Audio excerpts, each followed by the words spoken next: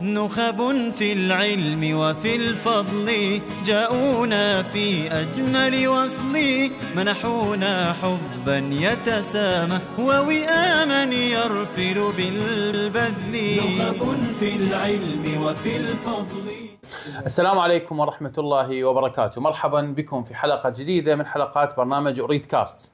اليوم سنستضيف أحد الخبراء في مجال الأوقاف الإسلامية الدكتور عيسى صوفان القدومي ليحدثنا حول الأوقاف وما هي الفلسفة الرئيسية من وراء الأوقاف الإسلامية وبعض النصائح والإرشادات للمؤسسات الوقفية وغرائب الوقف في آه، الإسلام يعني. فيمكن سنستضيف بإذن الله تعالى في هذه الحلقة لنستفيد حقيقة في هذه الحلقة من تجربة الدكتور عيسى صوفان. قدمي مرحبا دكتور عيسى. أهلا بكم حياكم الله. أهلا في البدء دكتور نريد نريد التعريف الشخصي البداية يعني البطاقة الشخصية لحضرتك لجنابكم الكريم. أه، حياكم الله. بسم الله الرحمن الرحيم. الحمد لله رب العالمين والصلاة والسلام على أشرف المرسلين نبينا محمد وعلى آله وصحبه أجمعين. بداية أشكر أه، منصة أريد على هذا البودكاست. ونسأل الله سبحانه وتعالى أن نوفق في عرض ما يعني نرغب حول الأوقاف الإسلامية. والشكر موصول لمنشئ هذه المنصة ومنشئ هذا أنا أعتبره الصرح العلمي المميز الدكتور سيف السويدي في هذه الجهود التي لسنوات والتي قد جعلت يعني من المنتسبين والمشاركين في برامج المنصة يصل إلى أكثر من مئة ألف مشارك ولله الحمد والمنة. وأنا أشكره كذلك على ثقته واستضافته أكثر من مرة في بعض المحافل وبعض المؤتمرات. ولله الحمد والمنة. أخوكم عيسى صوفان القدومي أنا أردني الجنسية فلسطيني الأصل مواليد الكويت أقيم ما زلت في الكويت. وليه اهتمام حقيقة كبير علمي في مجال العمل الخيري والوقفي والتطوعي. إيه، طبعا في دراسات إيه، علمية. أنا خلصت البكالوريوس من الجامعة المستنصرية في بغداد في 87 ثم أكملت الدراسات في الثقافة الإسلامية الماجستير والدكتوراه. وكذلك لي بحوث كثيرة جدا في مجال العمل الخيري والوقفي والتطوعي. وعملت حقيقة مستشار لأكثر من مؤسسة خيرية وكذلك مستشار مع الأمانة العامة للأوقاف في دولة الكويت ومدرب معتمد خارجي للمؤسسات الخيرية والوقفية والمجتمعية آه، ولله الحمد يعني قد دربت أكثر من آه، تقريبا 80 برنامج تدريبي خارجي خلاف البرامج الداخلية والمحلية نعم. وكذلك آه، ولله الحمد يعني وفقت وهذا فضل من الله تبارك وتعالى في إصدار أكثر من 15 آه، إصدارا حول العمل الخيري والوقفي التطوعي طبعا في إصدارات في مجال آخر مجال الاهتمام الثاني وهو مجال قضية فلسطين والصراع الإسلامي الصهيوني حول فلسطين وأرض فلسطين من الناحية الشرعية والتاريخية. هذه المجال نتحدث بهما. أما مجال العمل الخيري والوقفي والتطوع بدأ الاهتمام منذ يعني أن انتهيت من دراستي الجامعية وقد تطوعت حتى مع عملي كمدرس بداية ثم تطوعت مع بعض المؤسسات الخيرية آه، لأجل أن يعني أشارك وأساهم في العمل الخيري وأمر آخر أن أجعل هناك بصمة جديدة لأني أنا من البدايات وجدت أن العمل الخيري هو عمل تقليدي أصبح وأصبح عمل تكرار وليس فيه تجديد. فقلت لماذا لا يكون هناك تجديد لهذه المؤسسات الخيرية؟ في بداية عمري تقريبا عندما كنت يعني مشارك مع بعض اللجان الخيرية والجمعيات الخيرية وجدت أن جل اللجان الخيرية عملها متشابه.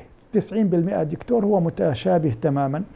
فقلت لماذا لا يكون هناك تجديد لحاجات المجتمع لما يفي بحاجات المجتمع؟ وبدأت الفكرة منذ ذلك الوقت مع أني اشتغلت يعني في بعض الأمور الأخرى في تجارية أو أمور علمية وكذلك آه، أمور مهنية لكن حقيقة اهتممت يعني والله الحمد أكثر من تقريبا 37 سنة وأنا أعمل في مجال العمل الخيري. إيه، جزء منه تطوعا وجزء منه في مجال التدريب الخارجي يعني بمقابل إيه، حتى يفي الإنسان بحاجته المعيشية حقيقة. وكذلك جزء منه يعني أعمال استشارية كذلك لبعض المؤسسات ومنها يعني وزارات في الدولة في دولة الكويت كالأمانة العامة للأوقاف التي تتبع وزارة الأوقاف. وقد اعتمدت يعني مدرب خارجي. وأنا استفدت حقيقة من التدريب الخارجي كما استفاد المشاركين في هذا التدريب الخارجي لأني استفدت من تجارب الآخرين من التحديات التي تعيشها الدول في مجال العمل الخيري والوقفي. وكان لي آخر آه، أكثر عشر سنوات اهتمام يعني مركز على العمل الوقفي. وكانت نتاج هذا التركيز أنه قد أنشئت هذه الجمعية جمعية الدراسات والتنمية الوقفية في إسطنبول من أجل أن أجمع ما عندي من الخبرة ومن العلاقات ومن خبرات الآخرين في مؤسسة تطوعية وقفية من أجل إحياء سنة الوقف وخدمة الوقف. ليست مؤسسة ربحية. نعم. وليست مؤسسة لها هدف إلا خدمة المؤسسات بداية الوقفية. العاملين في المؤسسات الوقفية مجال إحياء سنة الوقف مجال إحياء الأوقاف الهرمة مجال إحياء الحجج الوقفية وتحقيق الحجج الوقفية. يعني في عدة مجالات قد أقمناها في هذه الجمعية. هذه تقريبا ملخص المسيرة الحياتية الشخصية. نعم. ما شاء الله. الله ينفع بكم ويكتب أجركم. الله يسعدك. حقيقة في عندنا الكثير من الأسئلة للاستعلام والاستفهام حول موضوع الأوقاف يعني. يعني منها مثلا مفهوم الأوقاف الإسلامية وأهميتها. ما هو مفهوم الأوقاف الإسلامية في المجتمعات المسلمة؟ وكيف تطورت الأوقاف عبر التاريخ الإسلامي؟ الشق الثاني من السؤال إنه نريد التأصيل التاريخي لل... نعم. للأوقاف يعني. ما هو دور الأوقاف في المجتمع اليوم في وقتنا الحالي؟ نعم. تفضل دكتور. جزاك الله خير، نعم. أه، حقيقة أن النبي صلى الله عليه وسلم عندما دخل المدينة آه، ورأى الناس تستعذب تشرب من بئر آه، يسمى بئر روما. وهذا البئر قيل في أحد الروايات أنه كان ليهودي يبيع الماء للمسلمين بأموال يعني لا يملك هذا البئر. آه، فالنبي صلى الله عليه وسلم أراد الأمن المائي للأمة في إنشاء نواة دولة الإسلام. فالنبي صلى الله عليه وسلم رغب الصحابة في أن يمتلكوا هذا البئر. هل للشراء؟ الشراء تمتلكه أنت. ولكن النبي صلى الله عليه وسلم قد أصل لمفهوم الوقف. من يشتري بئر روما ويجعل دلوه مع دلاء المسلمين ويكون له خير منها في الجنة. يعني من الذي سيشتري بئر روما؟ ويجعله سبيل في سبيل الله يستفيد منه عامة المسلمين ويستفيد منه من أوقفه نعم. ومن هو اشتراه ويجعل دلوه مع دلاء المسلمين نعم. وله الأجر من الله تبارك وتعالى خير من هذا البئر في الجنة. لأن هذا البئر سيكون صدقة جارية نعم. فمن الذي اشتراها؟ اشتراها عثمان رضي الله عنه بئر روما نعم. وقيل عنه بئر عثمان وقيل أن بئر عثمان إلى الآن ولله الحمد والمنة بئر موجود وله الأجر من أوقفه الآن موجود الآن في المدينة نعم. وقيل له حساب وقيل له بعض الروايات التي حقيقة لم يعني أتيقن منها تماما ولكن لا شك أن بئر روما اسمه بئر عثمان وأنه ما زال موجود في المدينة واشتراه عثمان وسبله في سبيل الله وجعله وقف لله تبارك وتعالى. لهذا النبي صلى الله عليه وسلم بداية أراد أن يحقق الأمن المائي للأمة. ثم بعد ذلك أتاه عمر رضي الله عنه فقال يا رسول الله إني ملكت أو غنمت أرضا بخيبر. لم أملك مالا أنفس منه. وهو تذكر قول الله تبارك وتعالى لن تنالوا البر حتى تنفقوا مما تحبون.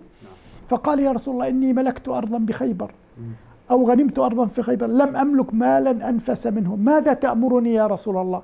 أتى من يستشير؟ يستشير خير البشر. نعم. استشار النبي صلى الله عليه وسلم فأشار إليه النبي صلى الله عليه وسلم بقوله إن شئت حبست أصلها وتصدقت بها. وقالوا, وقالوا أن هذه الكلمة هي أصل التشريع في الوقف. نعم. الوقف هو إن شئت مستحب ليس بوجوب ليس كمال الزكاة. إذا بلغ النصاب ومر عليك الحول يجب عليك الزكاة. نعم. وليس كمال النذور هو هو على الاستحباب.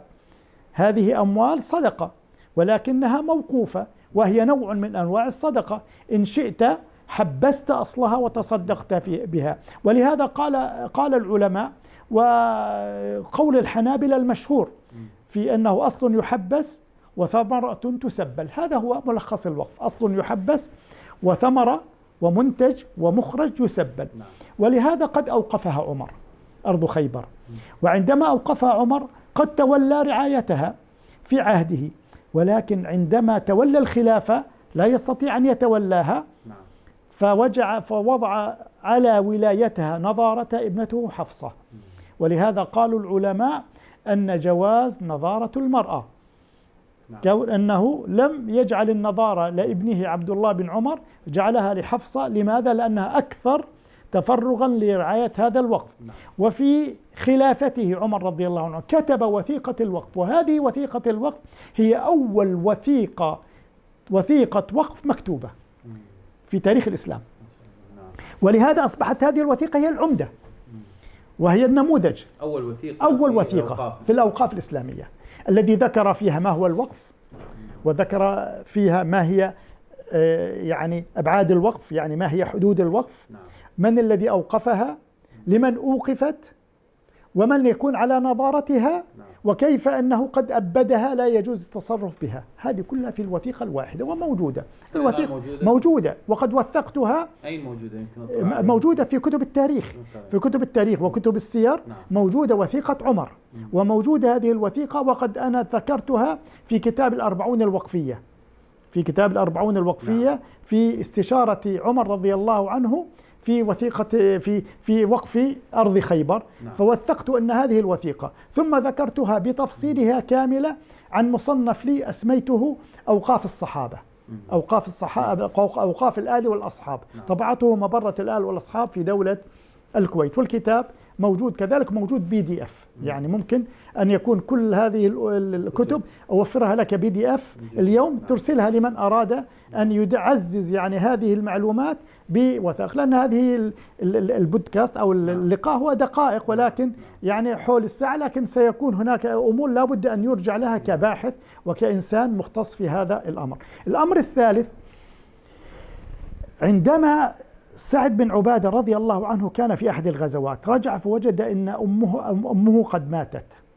فالأم عزيزة فذهب إلى النبي صلى الله عليه وسلم في مجلس الصحابة. في مجلس النبي صلى الله عليه وسلم كان الصحابة.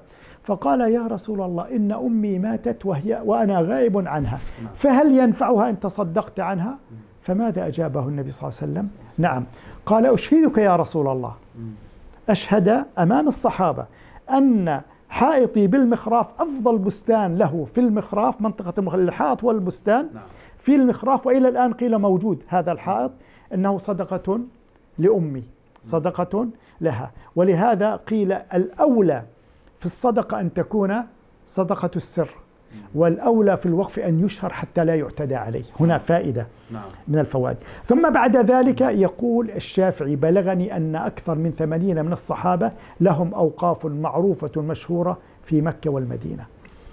ولهذا قال عبد الله بن جابر الأنصاري نعم. ما من أحد من أصحاب النبي صلى الله عليه وسلم ذو مقدرة إلا أوقف.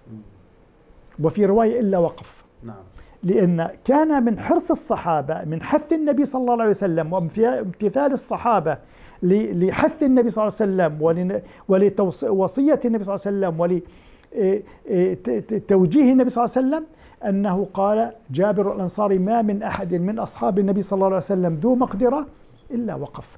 ولهذا أوقافهم معروفة مشهودة. كان من حرص الصحابة لأن الله تبارك وتعالى جعل لهم من الأعمال وهذا فضل من الله تبارك وتعالى. جعل لهم في عمل الوقف أجر في حياة المسلم وبعد مماته. فكيف ما يكتسب هذا الأجر؟ فالنبي صلى الله عليه وسلم يقول إذا مات الإنسان انقطع عمله إلا من ثلاث إلا من صدقة جارية أو علم ينتفع به أو ولد صالح يدعو له.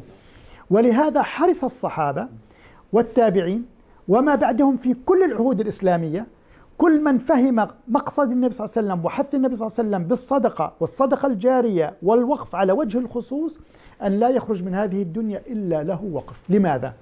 دكتور لماذا؟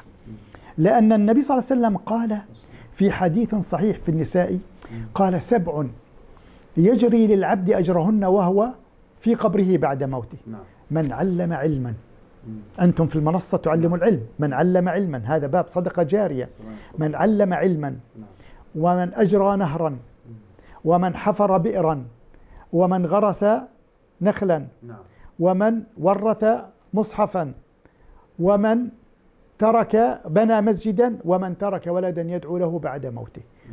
أنا في شرح لهذا الحديث في كتاب الأربعون الوقفية. نعم. طبعته الأمانة العامة للأوقاف. جمعت أربعين حديث نعم. في الوقف وشرحتها. فقلت هذا الحديث أريد له عنوان. قلت عنوانه أفضل عنوان الوقف لكل, لكل الناس.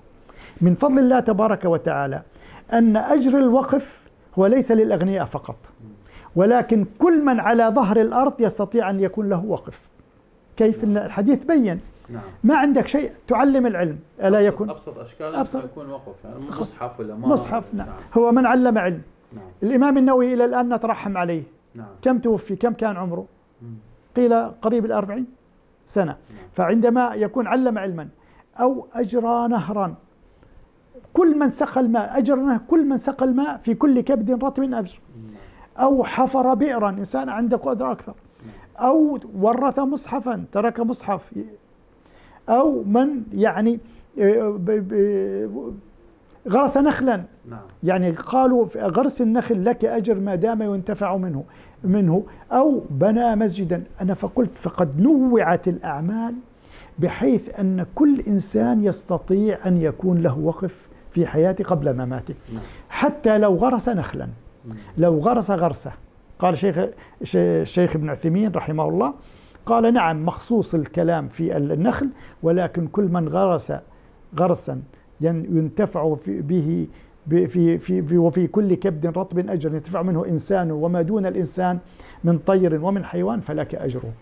فهنا توسعت قضية أن الوقف ليس للأغنياء فقط، الوقف يستطيع كل مسلم أن يكون له يعني يد ويكون له باب أجر في حياته وبعد موته، لماذا؟ لأن الوقف هو الصديق الذي لا يفارقك. يعني عندما يموت الإنسان يحزن عليه الأهل والأصدقاء ومن حوله فترة من الزمان ثم ينسى، لكن الوقف لا ينساك، يبقى الصديق الذي لا يفارقك. ما دام أنت في قبرك يبقى لك الأجر، لهذا حرص الصحابة أن يكون لهم من الأجر العظيم في حياتهم وبعد مماتهم. ولهذا قالوا العلماء إلى متى يبقى لك الأجر في الوقف؟ قيل أن يبقى لك الأجر ما دام ينتفع منه. ولهذا الحرص هنا أن يكون الوقف مختار اختيار صحيح أن تكون حاجة الناس له أن يكون فيه تنمية مستدامة أن يكون فيه استمرارية أن تكون فيه نظارة من يتابعه؟ أن تتابعه الأجيال بعد الأجيال أن يتابعه الناس أن يحفظ هذا الوقف حتى يبقى لك الأجر. ولهذا الأسرة التي يعرف أن هذا الوقف لأبيهم أو جدهم يحرصوا هذا رأيته في الكويت أن يجددوا هذا الوقف ليبقى الأجر نعم. لوالدهم الواقف. للواقف ولجدهم أو لجد جدهم ويكون وهم يعتبروا من صلبه ومن يعني يعني من الأجر الذي يصب إليه نعم. بمشيئة الله. نعم. نعم. جزاك الله خير دكتور. طيب يعني كيف تطورت الأوقاف؟ أو ما هو دور الأوقاف في المجتمع اليوم؟ يعني في عندنا أمثلة لأوقاف حالية موجودة نعم، نعم. لها نعم. هي تفضلت السؤال اللي قبل كيف تطورت الأوقاف؟ حقيقة كانت الأوقاف يعني في عهد الصحابة عهد النبي صلى الله عليه وسلم والنبي صلى الله عليه وسلم قد أوقف بنفسه. نعم. أراضي أراضي مخيريق عندما أعطى الأراضي السبع للنبي صلى الله عليه وسلم وقد قاتل معه وقال إذا قتلت فهي الأراضي لك؟ فأوقفها للنبي صلى الله عليه وسلم والنبي صلى الله عليه وسلم قد يعني أوقفها. والنبي صلى الله عليه وسلم له أوقاف كذلك وكان لآل بيته أوقاف ولهذا صنفت في أوقاف الآل والأصحاب إيه، فصل كامل عن أوقاف آل بيت النبي صلى الله عليه وسلم. نعم. لهذا النبي صلى الله عليه وسلم قد حث على الوقف النبي صلى الله عليه وسلم قد مارس الوقف وقد أوقف بنفسه النبي صلى الله عليه وسلم قد رعى الوقف والنبي صلى الله عليه وسلم لم يأمر في نواة دولة الإسلام أن يكون الوقف في بيت مال المسلمين. وهنا فائدة دكتور أن النبي صلى الله عليه وسلم عندما أراد أن يقيم المسجد مسجد النبي صلى الله عليه وسلم وكلنا قد شددنا الرحال إلى مسجد النبي. صلى الله عليه وسلم فقال النبي صلى الله عليه وسلم بدأ يبحث بنفسه على أرض تنفع وصالحة ومناسبة جدا أن يكون فيها مقر مسجد النبي صلى الله عليه وسلم وهي نواة دولة الإسلام. مسجد المدينة مسجد النبي صلى الله عليه وسلم في مكة في المدينة المنورة فقال النبي صلى الله عليه وسلم عندما رأى أرض جميلة جدا سأل لمن هذه الأرض قالوا لبني النجار إخوان النبي صلى الله عليه وسلم. فقال هذه كانت الأرض هي مزرعة. والمزرعة كانت هي أشبه بتكافل اجتماعي مع أسرة بني النجار أن يأتوا بريع هذه الأرض ويوزعوه على بني النجار حسب عدد أفراد أسرتهم وحسب حاجتهم. كل الثمار التي تأتي من هذا البستان أو من هذه الأرض. نعم. فالنبي صلى الله عليه وسلم قال يا بني النجار يعني تعالوا يا أعيان بني النجار من هو متولين هذه الأرض وهذا البستان؟ ثامنون حائطكم يعني اطلبوا كم فيه ثمن حتى أعطيكم. نعم. عندما علموا النبي صلى الله عليه وسلم يريد أن يطلب يثامنهم الحائط يعني كم يسوى هذا الحائط؟ كما نسميه اليوم تثمين. تثمين نعم. حتى ينزع يدهم عليه ويعطيهم مقابل مقابل بزيادة. فعلموا أن النبي صلى الله عليه وسلم لا يريدها له يريدها للأمة للمسلمين. قالوا لا والله لا نطلب ثمنها إلا من الله. فأعطوها للنبي صلى الله عليه وسلم.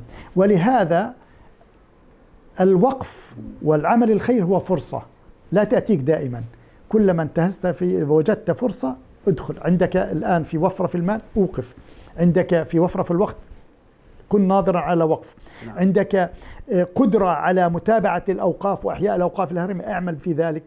فالنبي صلى الله عليه وسلم عندما أوقف بني النجار لبني النجار منذ ذلك اليوم إلى ما شاء الله كل من شد الرحال من أمة الإسلام إلى المدينة المنورة صلى وصام واعتكف وتعبد وقرأ القرآن وعلم وتعلم هنيئا لهم. لبني النجار إيش؟ أجر إلى ما شاء الله إلى يوم القيامة. أليست هذه فرصة؟ أنا أقول دائما عمل الخير فرصة. كم تمر على واستثمار. هو هنا التنمية هنا الاستثمار الحقيقي كيف تستثمر لآخرتك. نعم. فالناس حقيقة حريص على الاستثمار في الدنيا. إذا علم أن هذا المبنى أو هذا البستان أو هذه الأرض فائدة أو ريع فائدة أو أنه قد يباع يباع بربع السعر أو بنصف السعر يتكالب الناس عليه.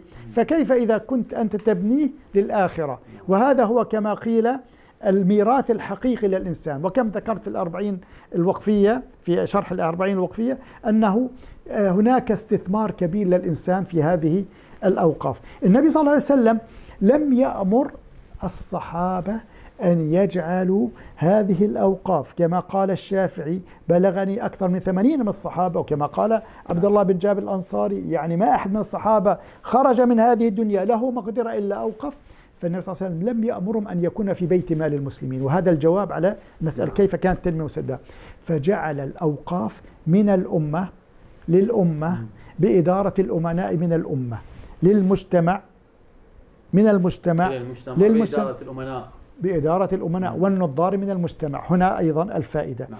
إذا الأوقاف هي داعم للأمة هي داعم للخلافة نعم. هي داعم للدولة إذا ضعفت الدولة. ضعفت مالية الدولة. من أين تصرف؟ نعم. لا تفلس الدولة تماما.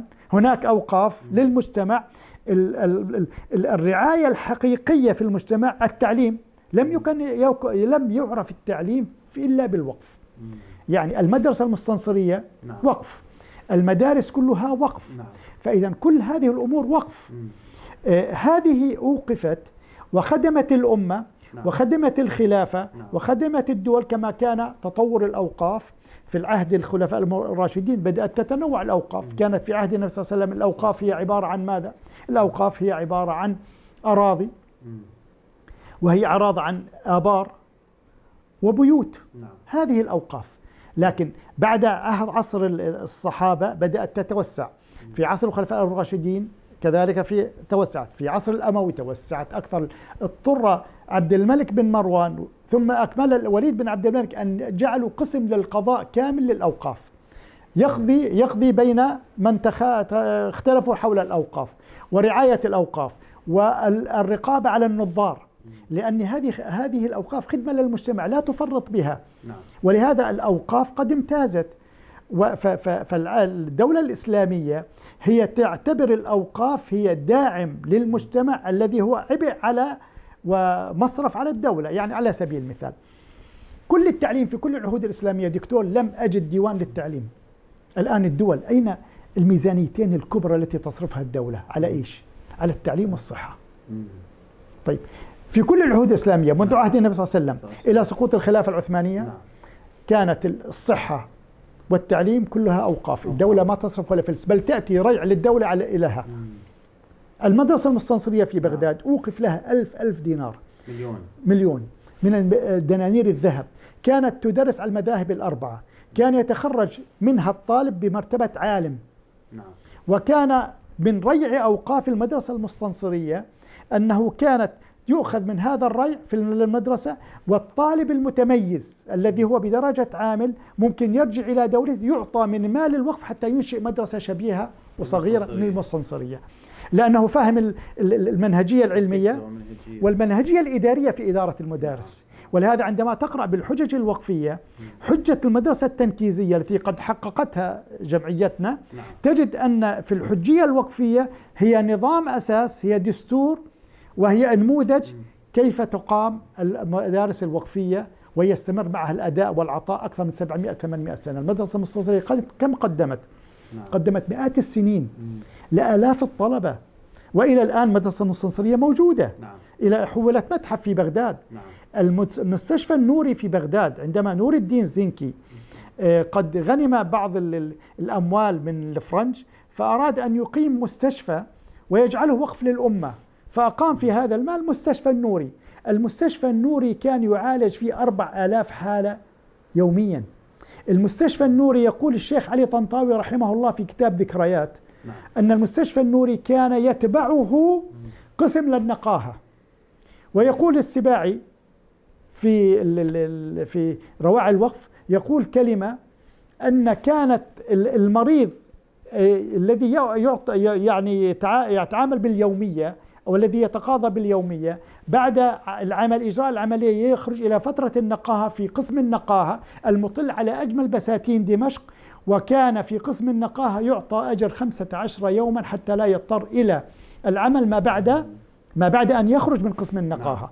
ثم عندما أتى أحد الغربيين وأراد أن يدرس المستشفى المستشفى النوري نعم. فعندما أراد أن يدرس الحالة من الداخل بدأ يكتب واستمرض عمل نفسه مريض حتى يكتب. فعندما كتب في كتب في كتابه هذا أنه قد دخل مستشفى من أجمل البناء. وكان من الغراب أن المستشفى ليس فيه حشرات لأن كان في الغرب كان المستشفى. نعم. ومن الغرائب الذي عاشها يقول وكان يعطى لكل مريض ملابس معقمة نعم. منفردة. نعم. وكان يعطى سرير لوحده معقم. وكان بعضهم في في الغرب كان ينام على الأرض. ويقول وأغرب الغرائب التي عشتها. في هذا المستشفى خلال ثلاثة أيام استمرضت بها حتى أكتب من داخله وإذا يعطى لكل مريض الزبدية يعني الوعاء الأوعية التي تناسب المريض. هذا يتكلم عن ما المقصود بالأوعية يعني قصدي وعاء الطعام. الطعام آه يعني الزبدية نعم التي نعم. تحفظ الطعام. نعم. لكل مريض نوع من الطعام الذي يناسبه حسب قبل حسب الحالة حسب الصحية حسب الحالة الصحية حسب مرضه.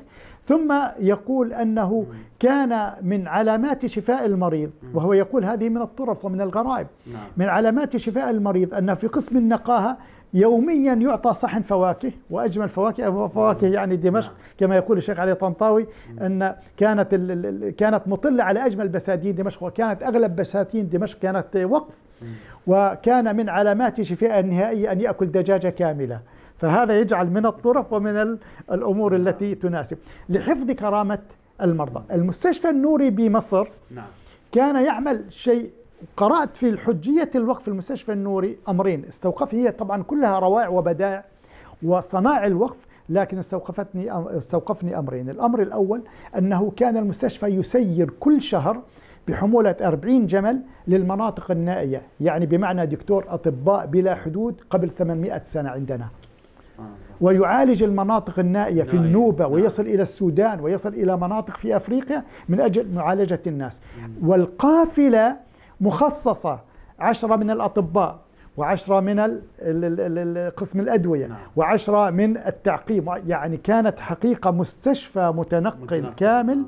بكل أدواته وبكل إمكانياته قبل 800 سنة 800 سنة هذه هذه هذه الحادثة الأولى الحادثة الثانية التي استوقفني في حجية الوقف أن الذي يعمل في مجال الوقف وخدمة المجتمع وأعيان الناس الذين هم وجلسوا لخدمة الناس من مشايخ من نعم. علماء من عاملين في الأوقاف من نظار من قيم على الوقف لا يأتي للمستشفى المنصوري المستشفى يأتي أن يعالج في بيته له خصوصية لأنه يعتبر أن هذا حاجته حاجة المجتمع له عظيمة ومنفعته متعدية عن نفسه ليس كتاجر سكر المحل الذي نعم. لو أغلق هذا الدكان قد يتضرر الناس.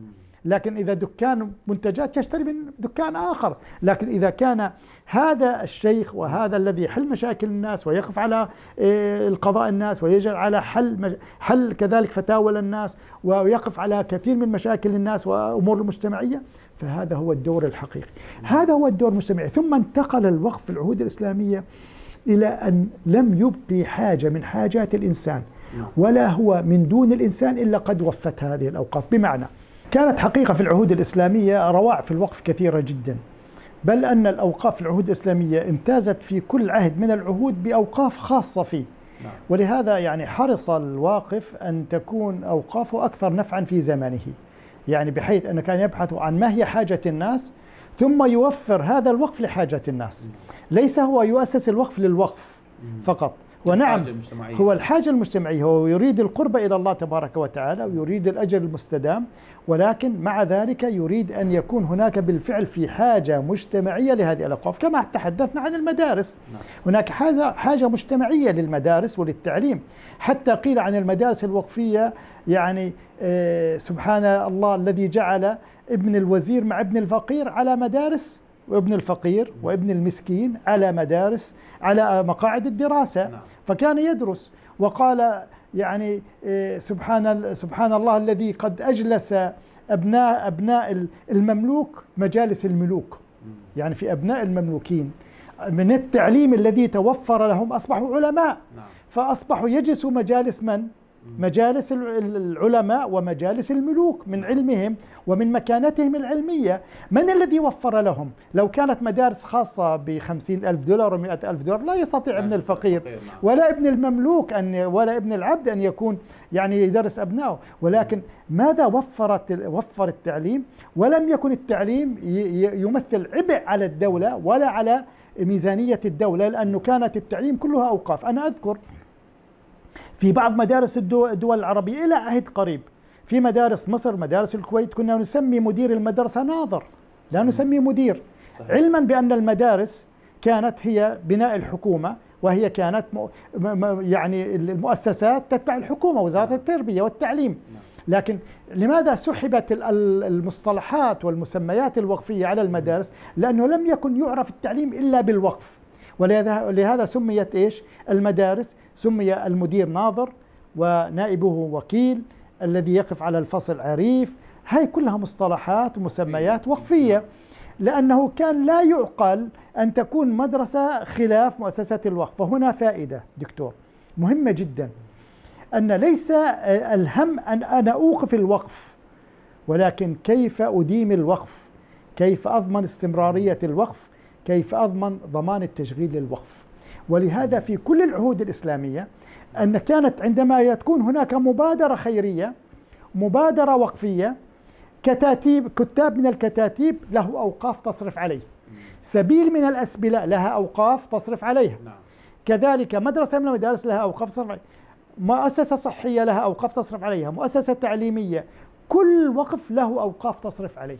كل وقف من الأوقاف. يعني نعم. حتى الوقف الذي قيل أن قد خصص في المرج الأخضر بدمشق لخيول الجهاد التي هرمت حفظا لكرامتها لأن هذه الخيول قد قدمت خدمات جليلة للأمة أنها قد شاركت في الحروب نعم. وقد يعني دحضت الغزاة وواجهت الغزاة وكانت هناك أوقاف لتدريب الجنود على الفروسية وكانت أوقاف لتدريب الخيول على الإبداع في مواطن الصراع يعني الخيول أن تكون ليس كل خيل نعم. يستطيع أن يصمد ويقف ويقحم نفسه في عندما تحتدم الجيوش والسيوف والرماح والنيران فكانت الخيول كذلك تدرب على أن تكون قادرة على الإقحام بنفسها وإقحام بمن فارسها في بين صفوف الجند هذه أوقاف عندما قرأت عنها أحسست بعزة الإسلام نعم. كانت أوقاف أوقفت لتصنيع السلاح في الحروب الصليبية والتي استمرت لتقريبا 200 سنة أكثر من 199 سنة الحروب الصليبية بحملاتها التسعة والثمان. هذه كل الحملات كانت هناك أوقاف قد أوقفت ليس فقط لتسليح الجند تصنيع السلاح تدريب الفروسية تدريب الخيول على الجهاد لكذلك مصانع أوقفت لتصنيع السلاح. هنا كانت الشراكة المجتمعية ولهذا نرجع لفعل النبي صلى الله عليه وسلم وتأصيله تأصيله لفكرة الوقف ولمشروع الوقف ولفقه الوقف ولحضارة الوقف أن جعل الأوقاف ليست بيد الدولة تحت إشراف الدولة لكن بيد المجتمع النظار حتى إذا ضعفت الدولة كما حدث في الحروب الصليبية هي التي أقامت على الأرامل وعلى الأسر وتسليح الجند وتهيئة الناس وتثبيت الناس على الدين.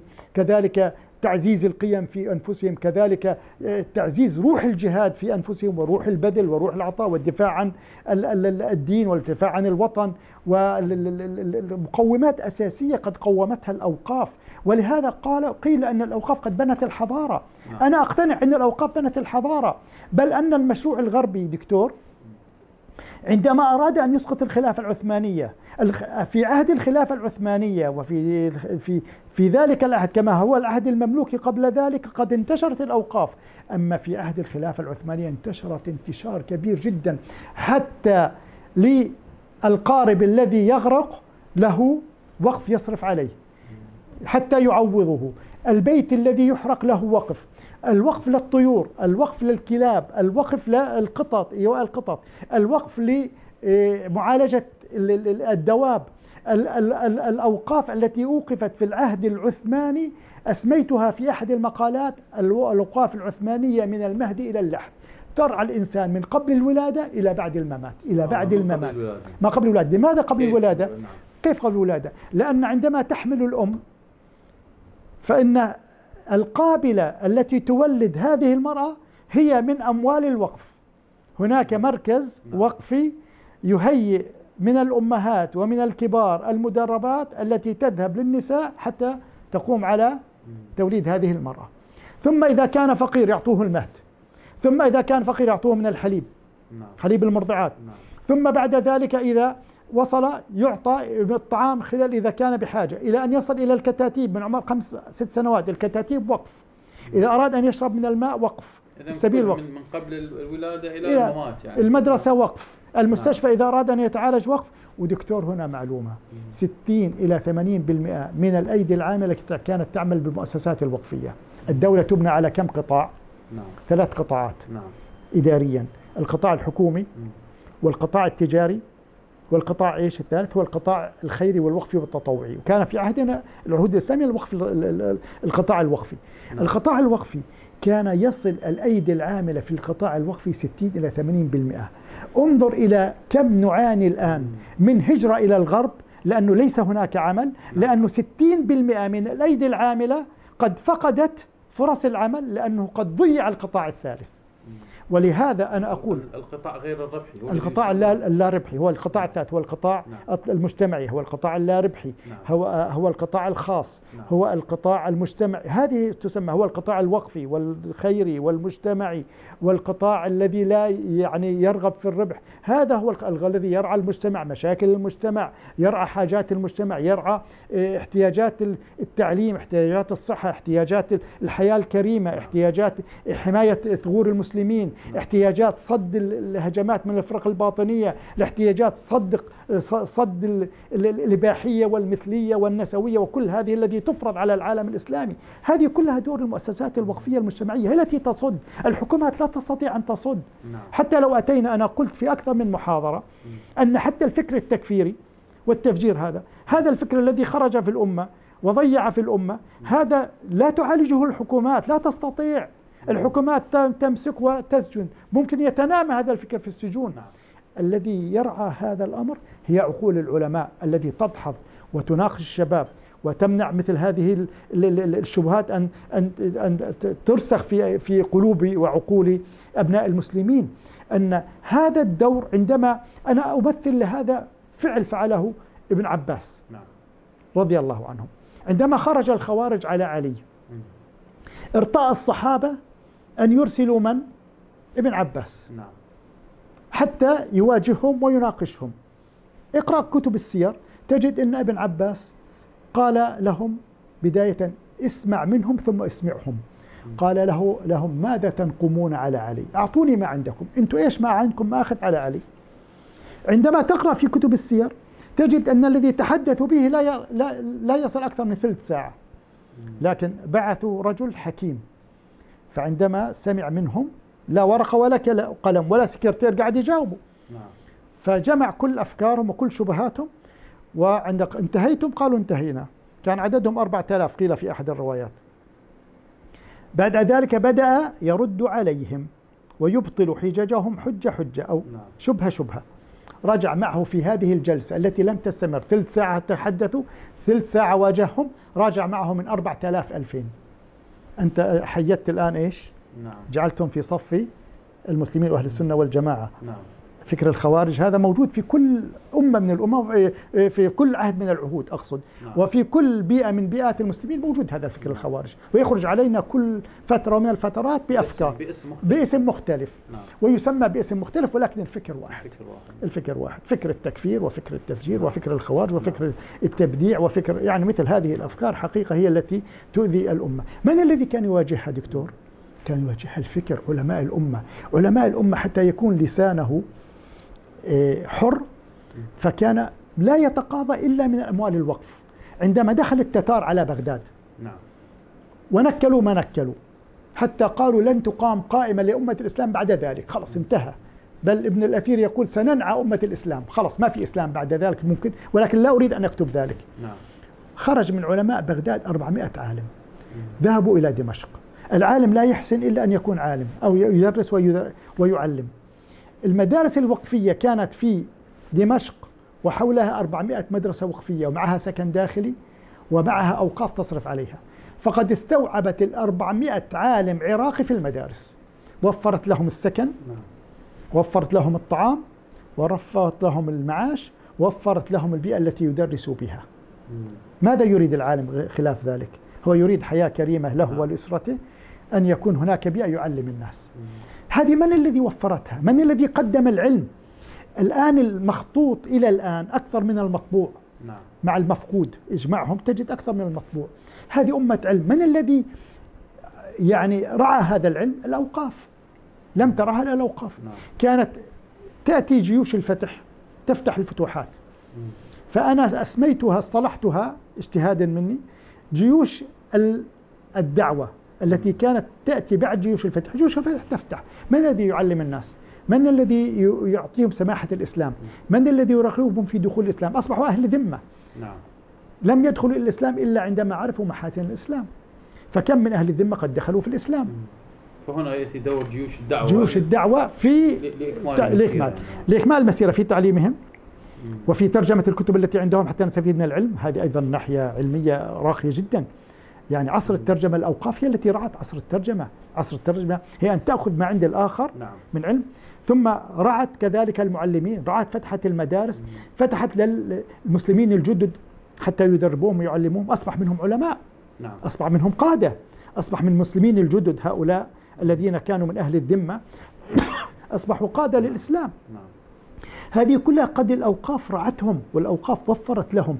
ولهذا كانت دولة الخلافة عليها حماية الثغور وصد الجبهات ومعالجة شؤون الناس. هناك ديوان للطعام وهناك ديوان للإنشاء وهناك لكن لم نسمع عن ديوان للتعليم ولا ديوان للصحة. لكن هذه الدواوين كانت تراها الأمة. ولهذا أنا أقول دائما كلمة. نعم. متى فقدنا التعليم؟ عندما انتقل من الوقف إلى الحكومات. ومتى فقدنا الصحة عندما انتقل من الوقف إلى الحكومات. نعم. حتى في الدول الغربية أصبح الآن في مواعيد أسمع في السويد وفي بريطانيا تصل من ثلاث إلى ست شهور حتى إجراء عملية. حتى في الغرب كيف في العالم العربي؟ والعالم العربي يعانوا ما يعانوا. بل نسمع في العالم العربي من يموت على أبواب المستشفيات. نعم. لأنه ما في عنده تأمين ولا عنده مبلغ أن يعالج فيه. كانت الأوقاف ترعى الجميع. إذا ماذا خسرنا بفقدان الأوقاف؟ خسرنا الكثير. الاستعمار المعاصر هو أكثر من عرف مواطن القوة في الأمة. من مواطن القوة في الأمة الوقف الذي يحفظ الدين ويحفظ العرض ويحفظ المال ويحفظ كل ضروريات الخمس ال- نعم. للدين. الضروريات الخمس للإنسان حفظت هذه الأوقاف. هم بدأوا يضعفوا الأوقاف في آخر الدولة العثمانية ويطعنوا في المؤسسة الوقفية ويشككوا في ذمم ال- ال- ال- النظار. وبعد ذلك أتى الاستعمار المعاصر الذي ألغى الأوقاف. كما حدث في بريطانيا. بريطانيا عندما تحت مسمى الانتداب على فلسطين احتلال نعم. فلسطين. نزعت يد محمد أمين الحسيني وهي الإسلامية العليا على الأوقاف وجعلت من هو يهودي يدير هذه الأوقاف. وهذا قد كتب- كتبت مقال كامل عن هذا. كيف ينزع أمناء الوقف ونظار الوقف ومجلس علماء المسلمين على الأوقاف التي هي جل أراضي فلسطين وقف وقرى فلسطين وقف وجعلوا عليها يهودي يدير هذه الأوقاف. للاستحواذ عليه للاستحواذ عليها. لأن اعتبروا حتى في الثمانية وأربعين دكتور اعتبروا أن حتى الأوقاف المساجد 1200 مسجد في مناطق ال 48 اعتبروها أملاك الغائبين. واعتبروا الأوقاف تدخل ضمن قانون تشريع أملاك الغائبين الذي يحق لليهود أن يتصرفوا بها.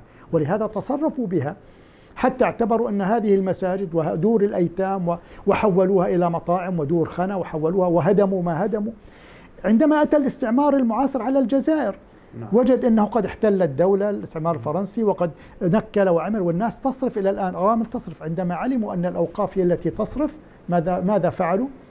استحوذوا على الأوقاف. أقول ما قبل ذلك نعم. قبل أكثر من 200 سنة من هذه الأحداث أو 150 سنة. محمد علي باشا في مصر. ماذا فعل؟ محمد علي باشا أراد أن يبني كما قال أن يبني الدولة الحديثة يجعل منظومة الدولة الحديثة نظام الدولة الحديثة.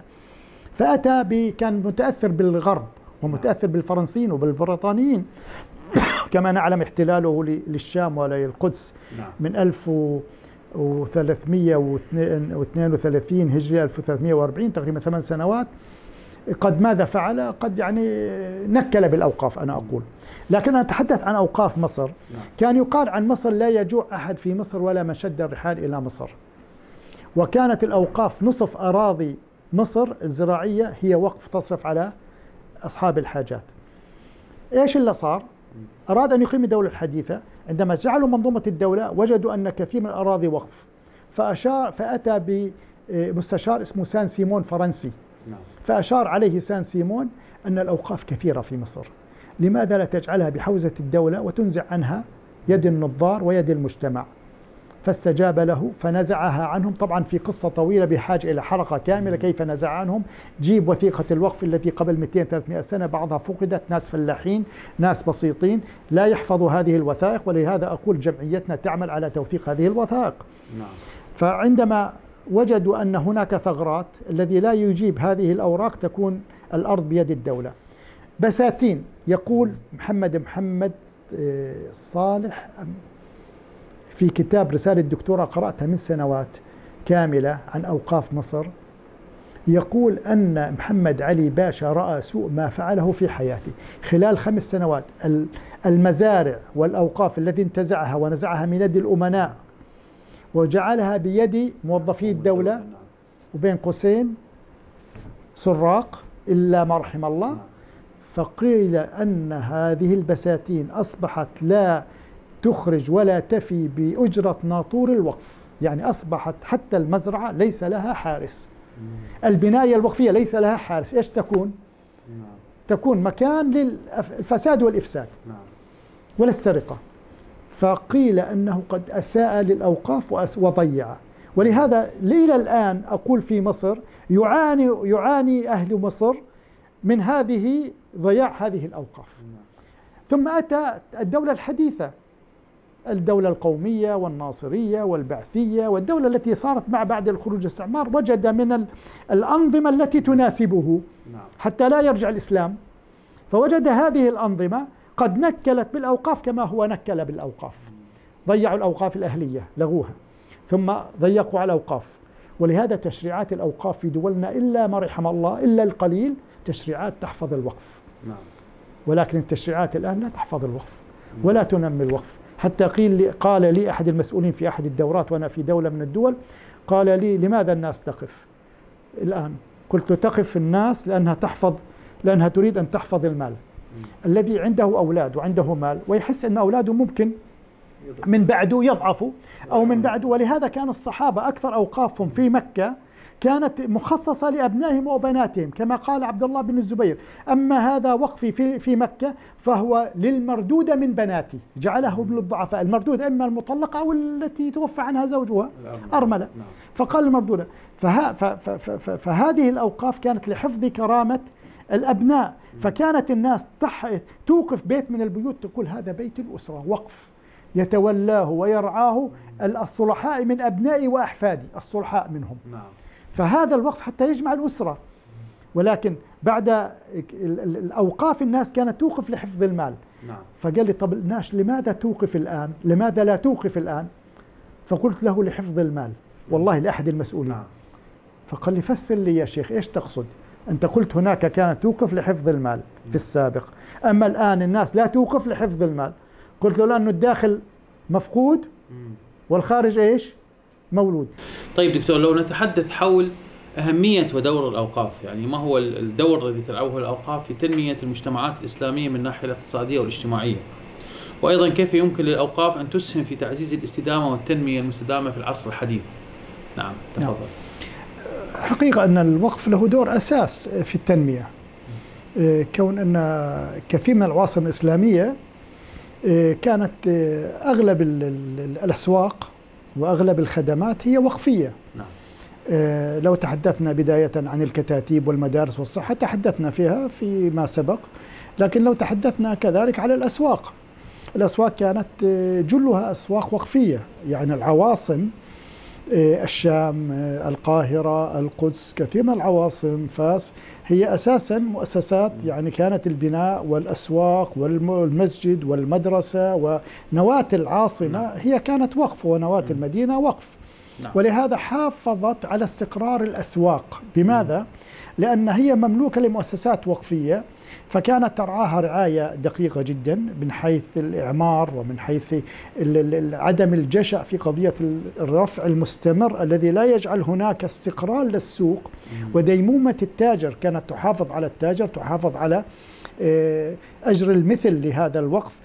تحافظ على أن لا يتملك أحد هذا الوقف أو نعم. لا يغير من معالم هذا الوقف آه، لكن كما قيل يعني في العهود الإسلامية أن الأوقاف قد ساهمت في استقرار كثير من العقارات وكثير من المباني وكثير من المنشآت سواء كانت خدمية أو عقارية تجارية نعم. أو أسواق أو خدمات هذه حقيقة يعني كان لها دور في التنمية.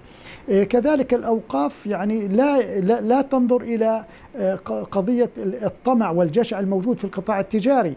أنه يريد أن يضخم الأرباح على حساب السوق وحساب نعم. المتغيرات وحساب المجتمع وحساب آه، سعر السلع في الأسواق الذي ستعود بالسلب على من يشتري على المستهلك. الأوقاف جعلت استقرار. ولهذا هناك الدولة تدار في ثلاث قطاعات في قطاع حكومي وقطاع تجاري وقطاع وقفي. القطاع الوقفي ساهم في توازن القطاع التجاري.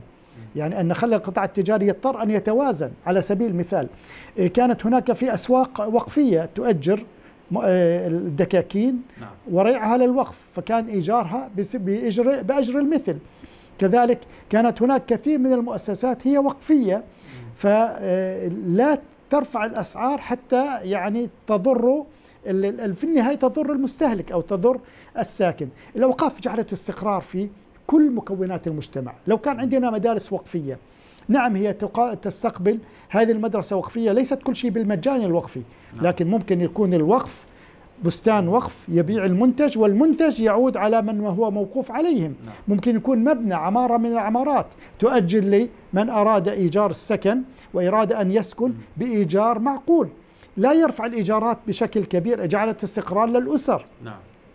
إذا كما قيل أن الأوقاف عالجت التغيرات وجشع التجار. ولهذا عندما يكثر المؤسسات الوقفية إذا صار عندنا مخبز وقفي يبيع الخبز بسعر معقول بجودة عالية بعدم استخدام مواد مضرة للصحة.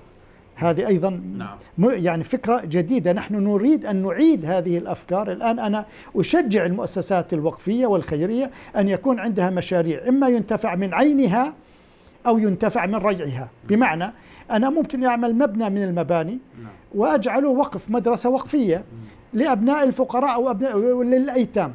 هذه خلاص حددت لفئة معينة لكن ممكن أجعل مدرسة وقفية ولكن تستقبل أبناء المجتمع وتدرس بأفضل يعني مناهج تدريسية ومخرجات جيدة في انتقاء المدرس انتقاء المناهج انتقاء البيئة التعليمية القيم التي تغرسها هذه المدرسة في المقابل عليها رسوم على ولي الأمر رسوم لكن هذه الرسوم رسوم معقولة.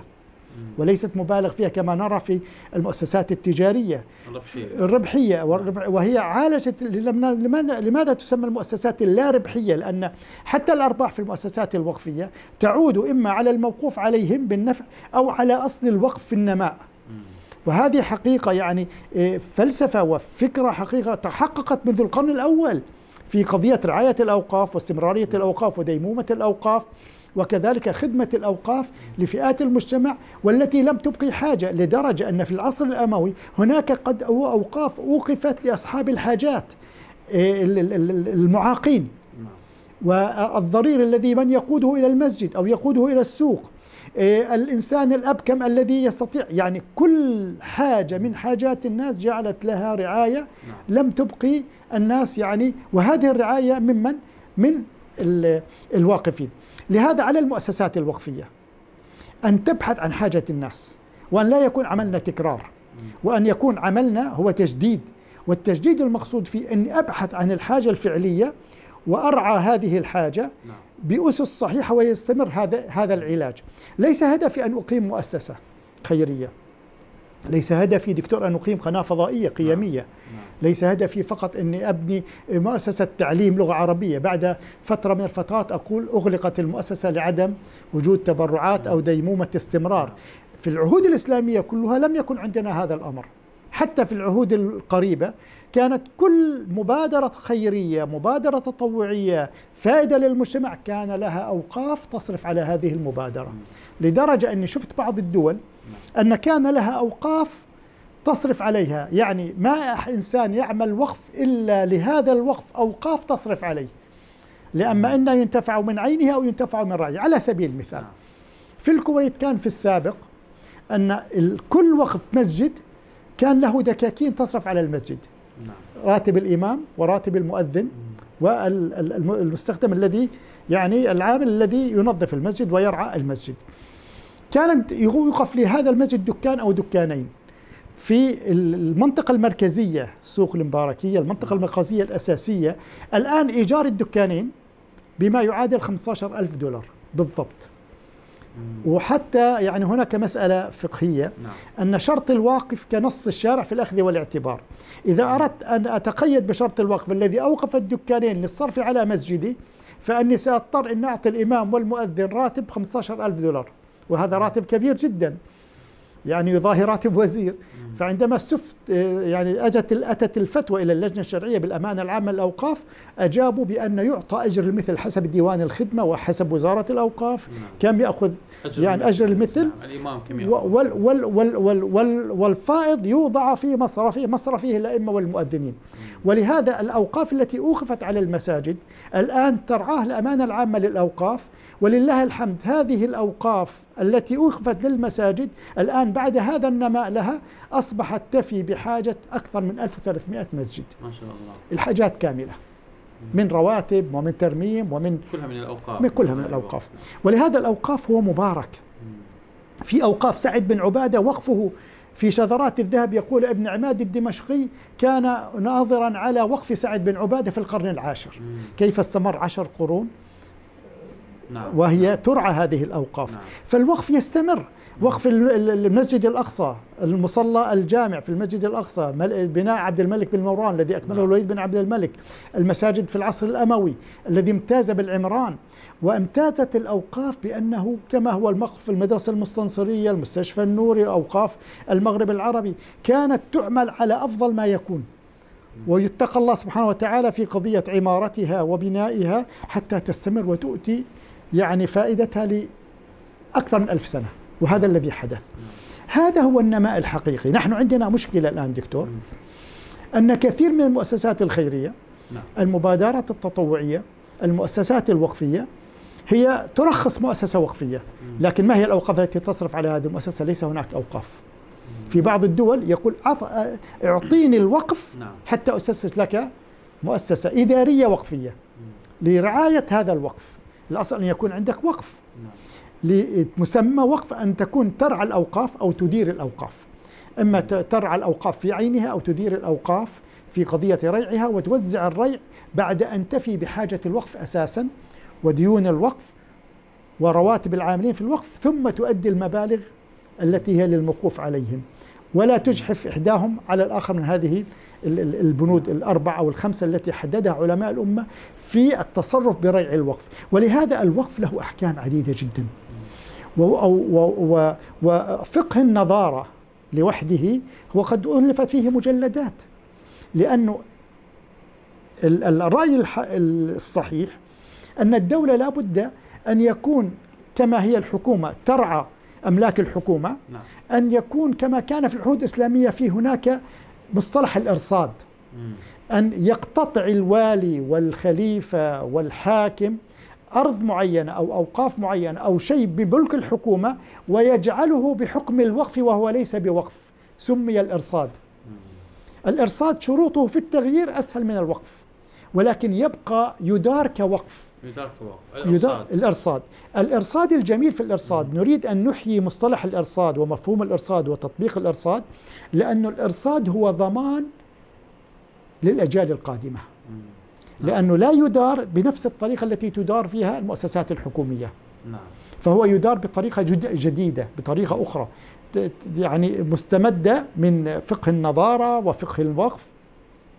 لكن ممكن في المستقبل أن يغير في شروطه أسهل من تغيير الوقف. نعم. يعني على سبيل المثال لو كانت هناك آه، آه، مدرسة قد أوقفت نعم.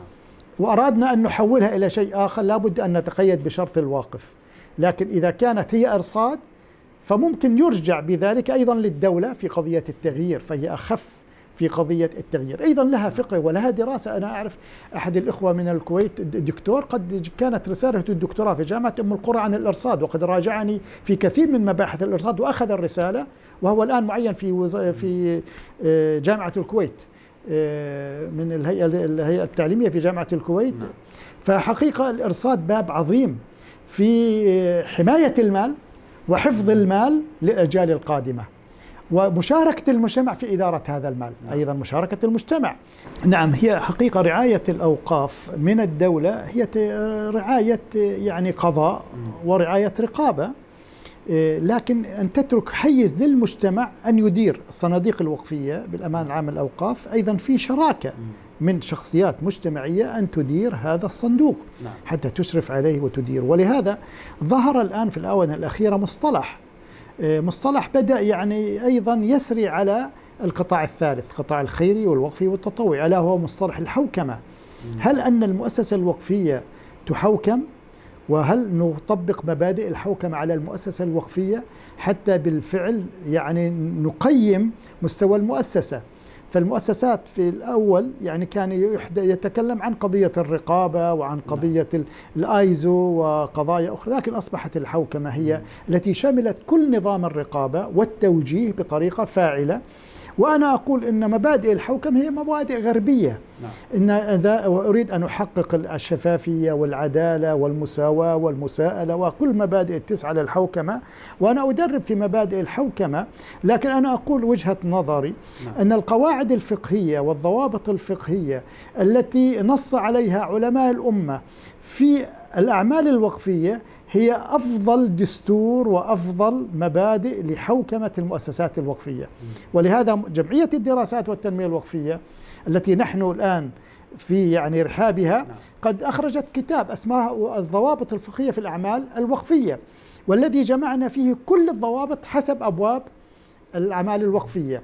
وهذه الضوابط في باب الصرف في باب الجمع في باب المو- الموقوف الموقوف عليه. وهذا حقيقة حتى تضبط إدارة المؤسسات الوقفية وتضبط الصرف حسب الضوابط الشرعية. نعم. لأن هناك ضوابط شرعية نص الواقف كشر إيه، شرط الواقف كنص الشارع في الأخذ والاعتبار. أو مسائل كثيرة جدا في مسائل الأوقاف. جمعنا فيها تقريبا 100 ضابط من الضوابط التي تضبط الأعمال الوقفية. ليست كلها في باب واحد قسمناها على 12 بابا. نعم. إن شاء الله بعد ما ينتهي اللقاء نحاول ناخذ نعم. في هذه الكتب نعم, نعم. الضوابط الوقفية. نعم. جزاك هذا الله هذا هو الكتاب الضوابط نعم، الفقهية الضوابط الفقهية للأعمال الوقفية، الوقفية. نعم. نعم. إن شاء الله نأخذ آه، كتاب كتاب نعم. وتعطينا نبذة مختصرة عنه. نعم نعم. آه، هذا حقيقة أن لا بد أن تدار المؤسسات الوقفية إدارة حكيمة إدارة رشيدة إدارة نأخذ بالضوابط الشرعية نأخذ بالأحكام الشرعية للنظارة للوقف في نبدأ في فكرة الوقف نبدأ في قضية كيف نصيغ حجية الوقف بطريقة صحيحة كيف تستوفي حجية الوقف ضبط الوقف وحماية الوقف ورعاية الوقف. نتحدث في هذه الضوابط تحدثنا كثير عن آه، القواعد والضوابط في حفظ الأموال الوقفية. أنا آه، يهمني أرعى الأصل إذا لم يكن هناك أصل وقفي إذا ما فائدة كل هذه الأحكام؟ الأصل هو الذي يرعى بداية الأصل الوقفي ويرعى كذلك فوائد هذا المخرج لهذا آه، الوقف. هذا يعني مبدأ من مبادئ أساسية في إدارة المؤسسات الوقفية. هناك مبادئ تندرج حتى في الحوكمة. عندما ند... نريد أن نطبق الحوكمة على المؤسسة الوقفية نسألهم ليس على الحوكمة فقط من الحوكمة نسألهم من الحوكمة نسألهم عن أين عندكم إدارة المخاطر. أين دراسات الجدوى الصحيحة لماذا اخترتم هذا المشروع عن هذا المشروع؟ لماذا صرفتم هذا الرع بهذه الطريقة؟ ما هي الجدوى؟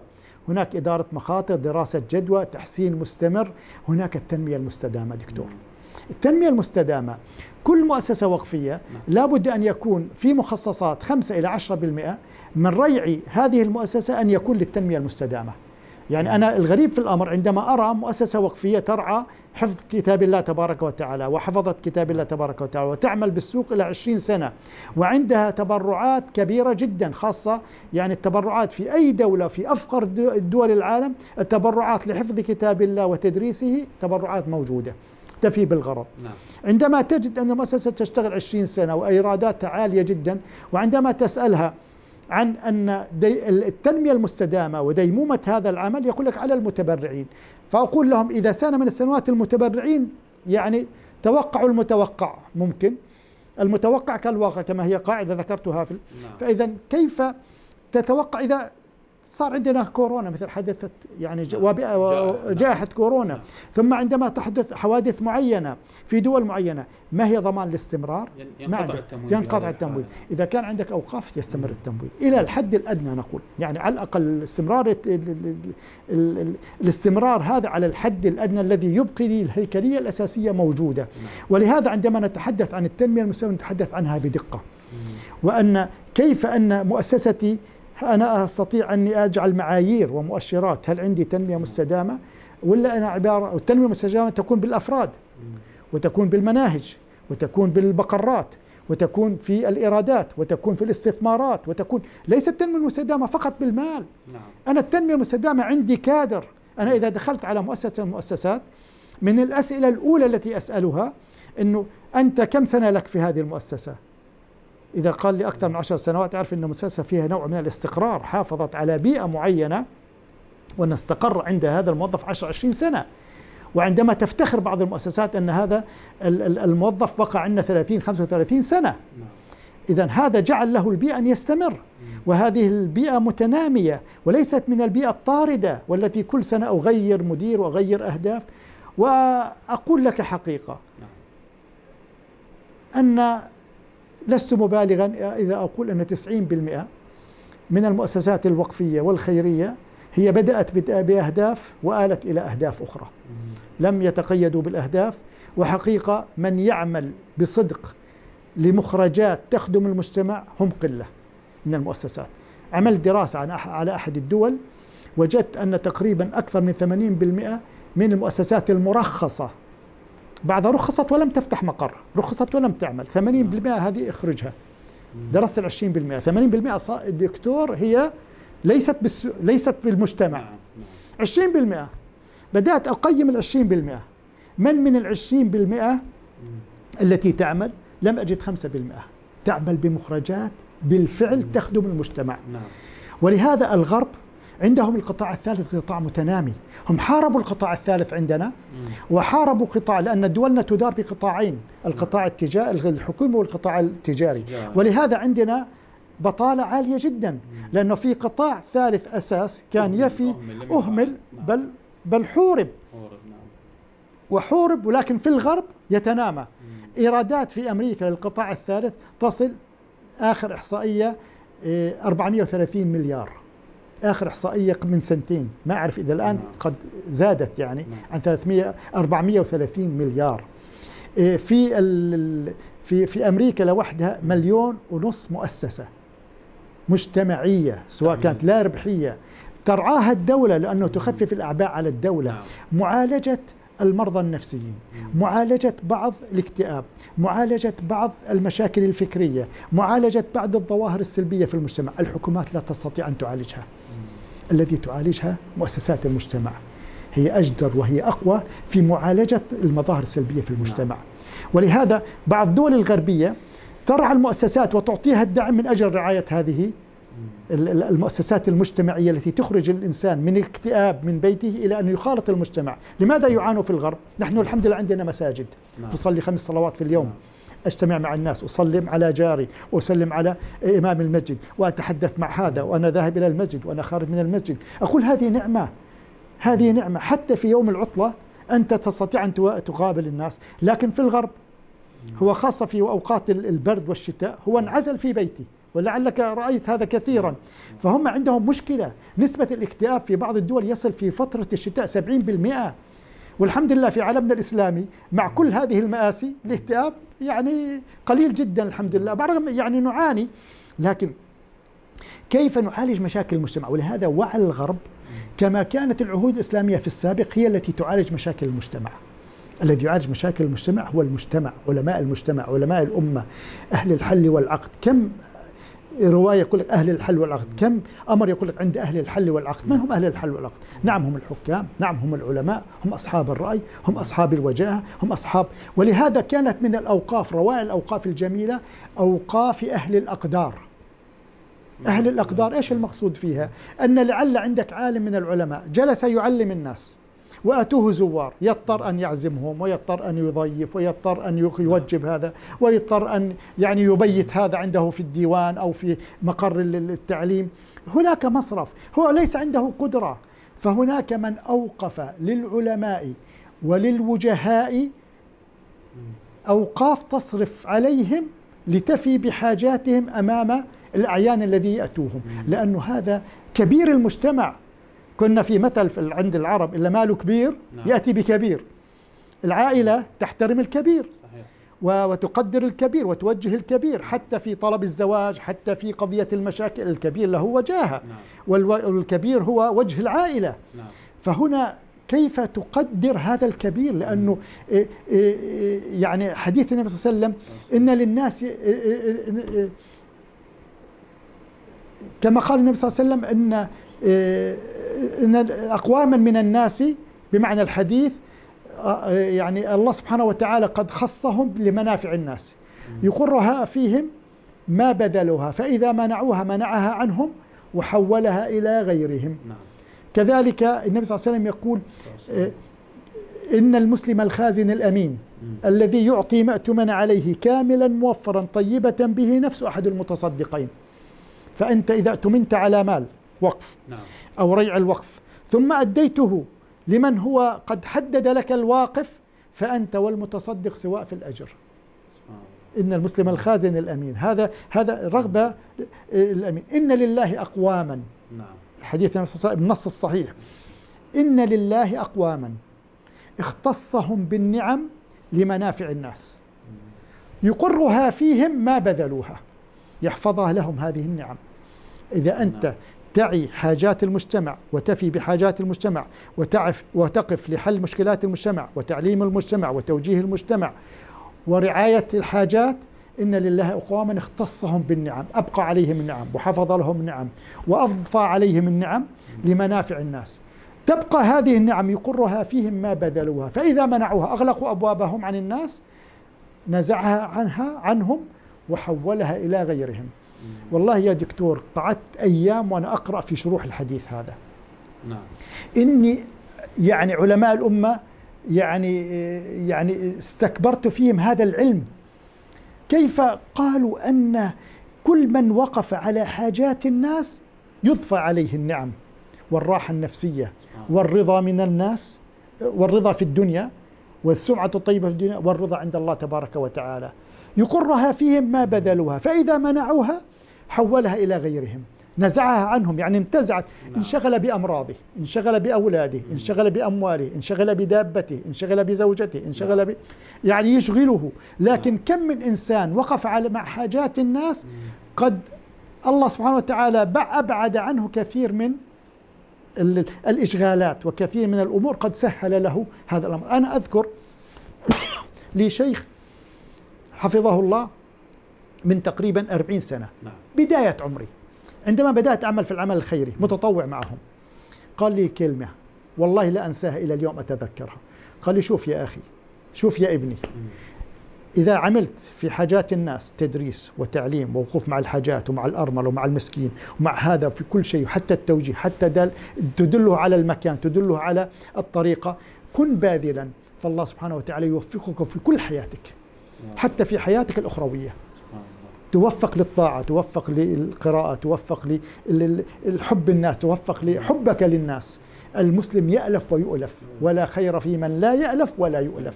فهذه حقيقة وجدت أن النفع المتعدي أفضل بكثير. في الأجر وفي المصا النعم نعم. من الأجر من العمل الذي يكون لنفسي فقط.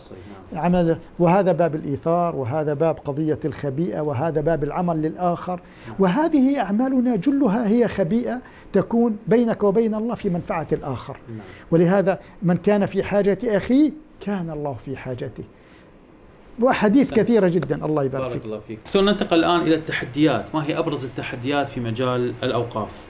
يعني التي واجهتها حضرتك كخبير في هذا المجال كيف استطعت أن تحول آه، الخبرة آه، الفعلية والعملية لتحويل المحن إلى منح واستثمار هذه الصعاب في المؤسسات الوقفية التي كنت يعني تترأسها أو تشرف عليها؟ نعم حقيقة يعني التحديات هي على جميع المؤسسات والقطاع الخيري كله والقطاع الوقفي حقيقة يعيش تحديات وبداية هي تحديات غربية محاربة القطاع الثالث حقيقة. نحن نعاني أيضا إلى الآن يعني من مؤسسات من دول الكبرى والعالم الغربي و وزارة الخزانة وكذلك كثير من الاتهامات حقيقة الغير يعني مبررة للقطاع الخيري والقطاع الوقفي حتى وصل حلقات تحفيظ القرآن وصل إلى كل من يعني يعزز القيم الإسلامية بين أبنائنا وبين النشء وكذلك يعني هذه التحديات خارجية ولكن هذه التحديات لابد لابد أن يبقى العمل وهناك في تحديات داخلية التحديات الداخلية المرتبطة مع الغرب أصبح. أي مال يجمع لأموال القطاع الثالث آه، عند عند البعض بل الأكثر إنه يعني يشكك فيه ويراقب بشكل دقيق، نحن مع المراقبة مع الدقة ولكننا لا نتهم بالإرهاب يعني في مثل هذا الأمر، نعم. ولكن للأسف أصبح القطاع الثالث أيضا مقرون بالإرهاب، ونحن نعلم أن القطاع الإرهاب الموجود الذي يدعم هو يدعم من قوى كبرى ويدعم من طرق كبرى وكل هذا نعم. ونحن باحثين ودارسين ونعرف ذلك يعني.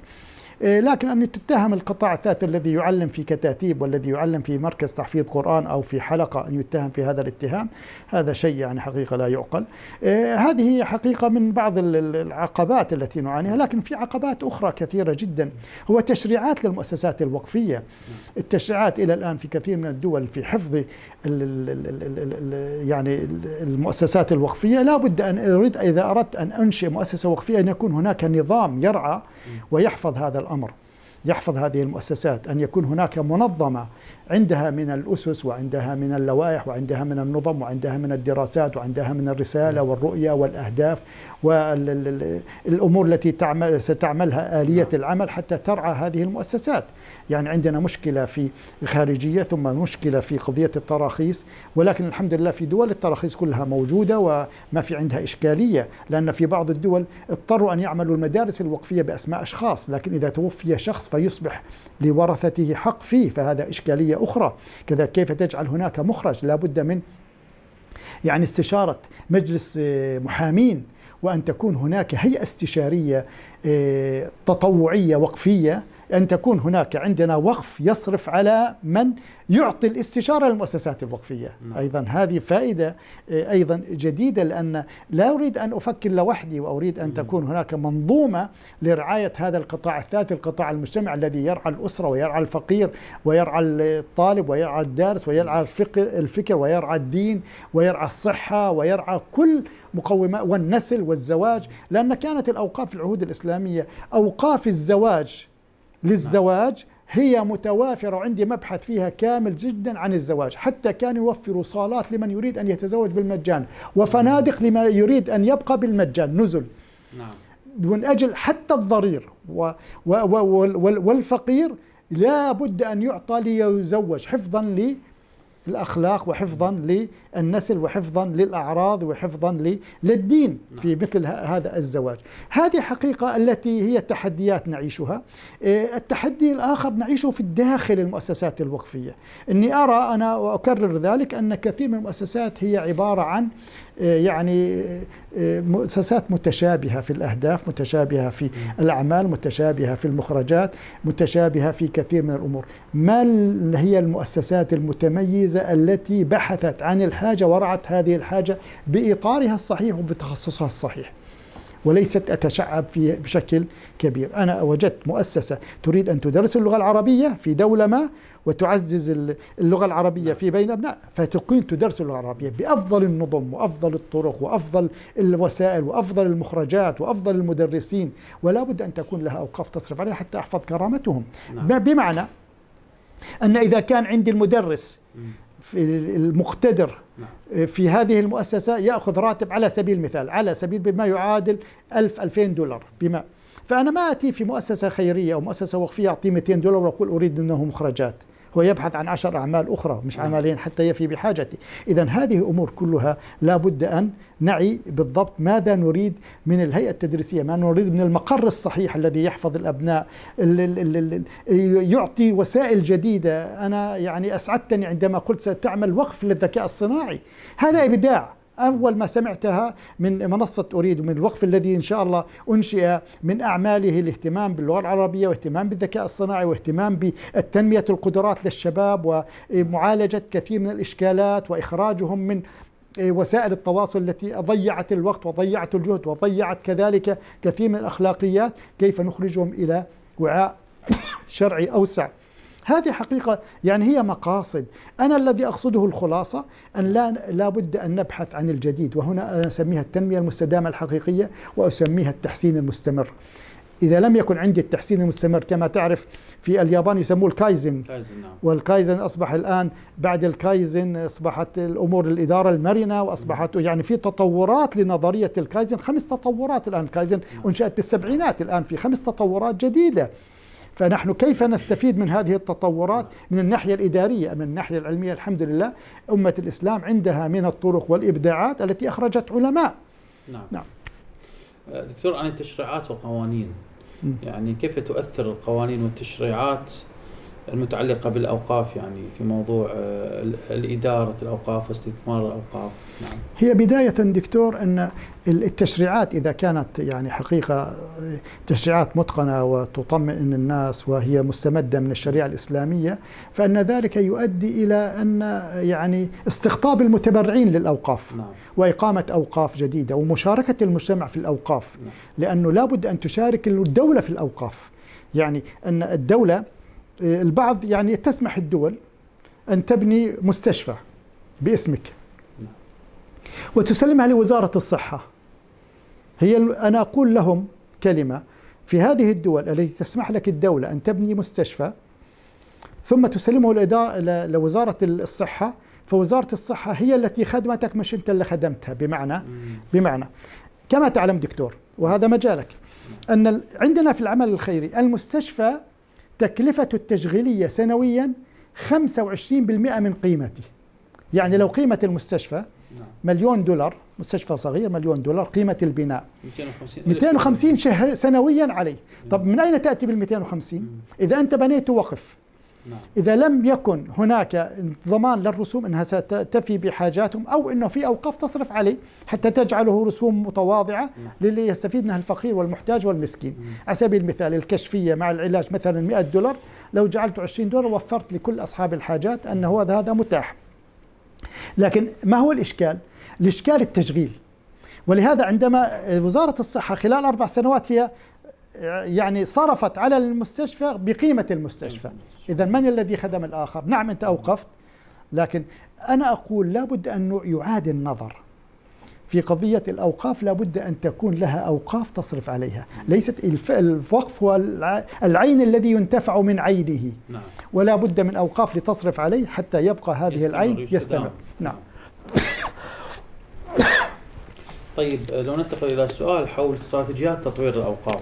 يعني لو تفضل حضرتك بذكر بعض ال ال ال الاستراتيجيات الفاعلة لتطوير الأوقاف وجذب المستثمرين أو الواقفين حقيقة الجدد نعم مثلا الابتكارات المالية نعم. في الاستثمارات الحديثة. نعم.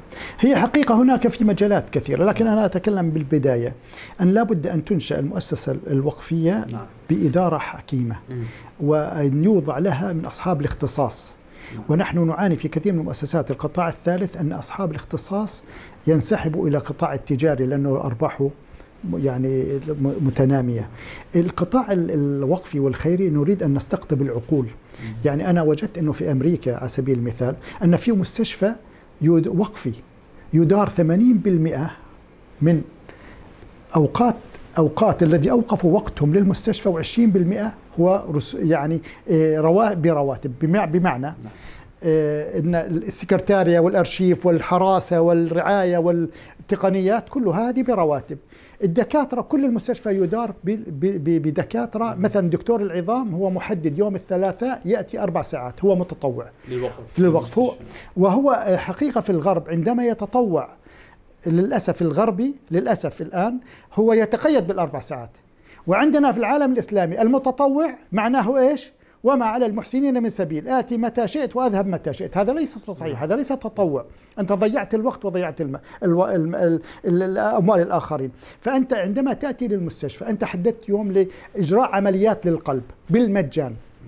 على سبيل المثال. أنت محاسب بالقانون وبالصحة وبالشرع إذا أخطأت. حتى أنت متطوع. كذلك في هذا المستشفيات أصبحت 80% يدار بأوقات وقفية وتطوعية و20% برواتب. نحن نريد أن نجعل أيضا منشآت لتقديم المشورة للناس تقديم المفاهيم للناس. يعني المقبلين على الزواج. الآن نسبة الطلاق عالية جدا في كل العالم الإسلامي.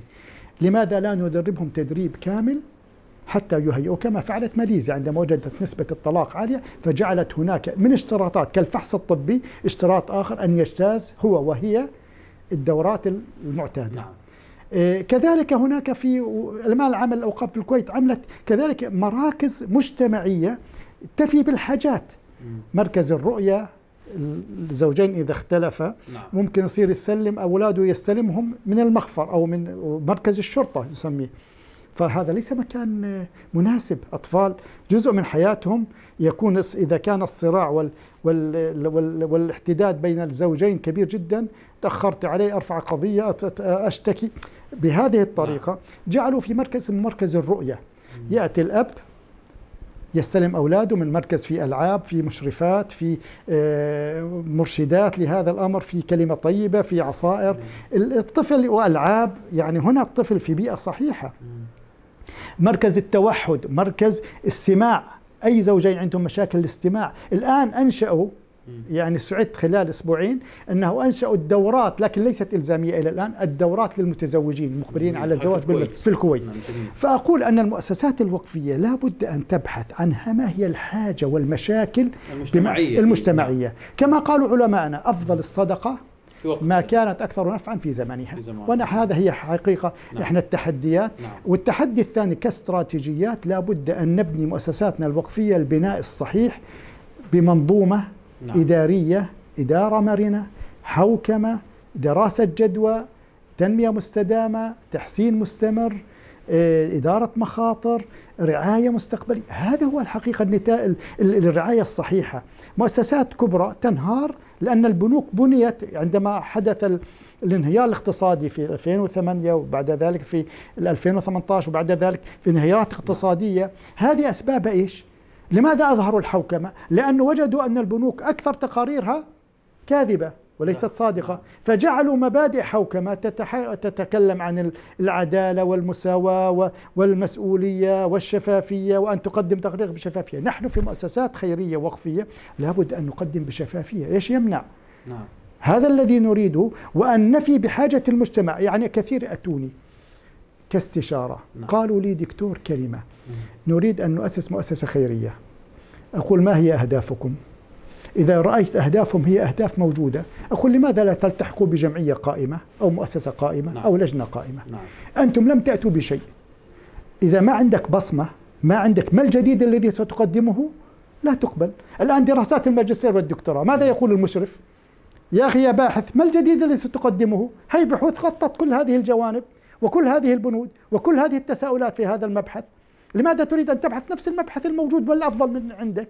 نعم. فأنت لماذا تؤسس مؤسسة خيرية؟ هي هي فقط لصفة اعتبارية أنا عندي مؤسسة ولهذا أقول 90% من المؤسسات الخيرية لا يعني مخرجاتها لا تحقق المطلوب. 90% نعم. وهذه كلمة من إنسان عاش أكثر من 37 38 سنة في العمل الخيري. نعم. فنريد أن نعيد فهم لماذا أنشأنا هذه المؤسسات.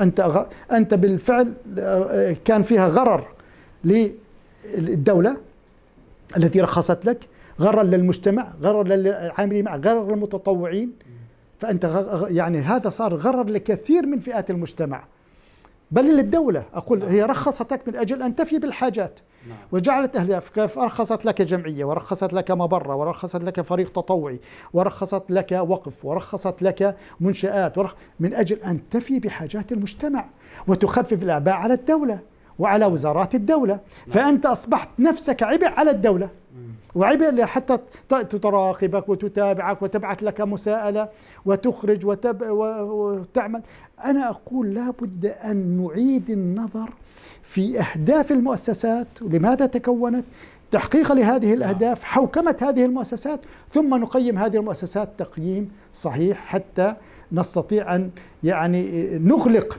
المؤسسات أنا لا أدعو لإغلاق المؤسسات لكن المؤسسة التي لا تعمل تماما لابد أن تغلق أفتح مجال نعم. لمن يعمل نعم. غيرك نعم. نعم. يعني مثلا أفكار مثلا وقف الأكسجين وقف الجامعات وقف العلمي وقف اللوحات وقف الأطباق والله. وقف أو أفكار حتى ناس يستفيدون. يقول لك لأن إحنا الفكرة من آه، هذا البلاتفورم مجتمع الواقفين وقف جنتي أريد نشيع الأفكار. يعني قد يأتي شخص ويقول أنا ما أستطيع ما عندي القدرة أن أوقف لأن ما ما, ما عندي الإمكانية المالية. شوف لأن في في إشكالية حتى وقف الوقت في نعم. مباحث علمية. نعم. أن ال ال الوقف أصل يحبس وريع يصرف. أنا ما أستطيع مثل تركيا هنا يسمى وقف وهو ليس في أصل محبس ولا نعم. ريع يصرف. نعم. فأنا ما أستطيع أقول أنا على سبيل وقف الوقت آه، عليه مناقشات كثيرة ودراسات كثيرة. الوقف هو أساسا الذي يوقف لحاجة المجتمع. أنا أعطيك خلاصة. أفضل الوقف ما كان أكثر نفعا. كل مجتمع من المجتمعات أنا ما أقدر أعمم على كل المجتمعات الإسلامية نسخة واحدة. كل مجتمع إذا درس بل كل مدينة من المدن لها حاجة معينة. الآن المدن في في تركيا كل مدينة لها حاجة أخرى. إسطنبول لها حاجة غير عن أنقرة غير عن بورصة غير عن غازي عنتاب غير فأنا أقول لا وقف الوقت يعني الحالي شو الحاجة الحالية هي, يعني؟ هي الوقف آه وقف الوقف الذي يبحث في حاجته الذي مم. يدرس الأوقاف العثمانية يجد أن الأوقاف العثمانية كانت تبحث في أدق التفاصيل مم. ما هي لأنه كانت الأوقاف كثيرة نعم. ولهذا الواقف يسأل أهل الاختصاص ما هو الوقف المهم أنا سأعطي لك مثل إذا سالتني أعطيك مثل الآن نعم. أنا واحد صدمته توفي ابنه آه. فاجى عندي قال لي أنا أريد وقف لكن غير معهود أعمله. غير معهود يعني مو مو شيء شائع يعني. مو شائع. نعم. فقلت له اعمل وقف مقبرة. امم قال لي إيش مقبرة؟ قلت له أكثر ما يعاني. ما كانت في العهود الاسلاميه منذ عهد النبي إلى سقوط الدولة الخلافه العثمانية نعم. لم يكن يعانوا في قضية مسجد ولا مدرسة ولا مستشفى ولا مقبرة. الآن أكثر معاناة صارت المقابر. في الدول الغربية للمسلمين؟ كثير 10000 دولار بل في دول عربية إذا مات نعم. الميت عندهم تصبح مصيبتهم مصيبتين مصيبة الميت وفقدان الميت ومصيبة مصيبة دفن الميت. يصل, يصل في لبنان ما بدي أقول الدول يصل في لبنان 3000 دولار لبنان منين له 3000 دولار؟ معي شيخ من يدفع. 1000 ل 3000 دولار الأردن عندنا 1000 دولار 1500 دولار.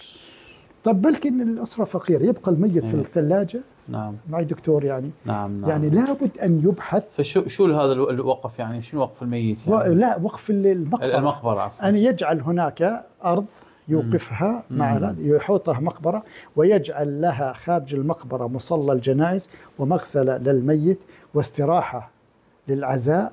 ليس العزاء بشرط أن يكون في بيت ممكن في المقبرة وينتهي. مم. الآن في الكويت العزاء في المقبرة وخلاص. والمقبره صار الأغلب في المقبرة. هاي الجلوس ثلاث أيام وكذا بدأوا يرجعوا هذا من بعد كورونا. مم. قالوا ما في داعي. تعطل أمور الناس وتعطل أمور صح.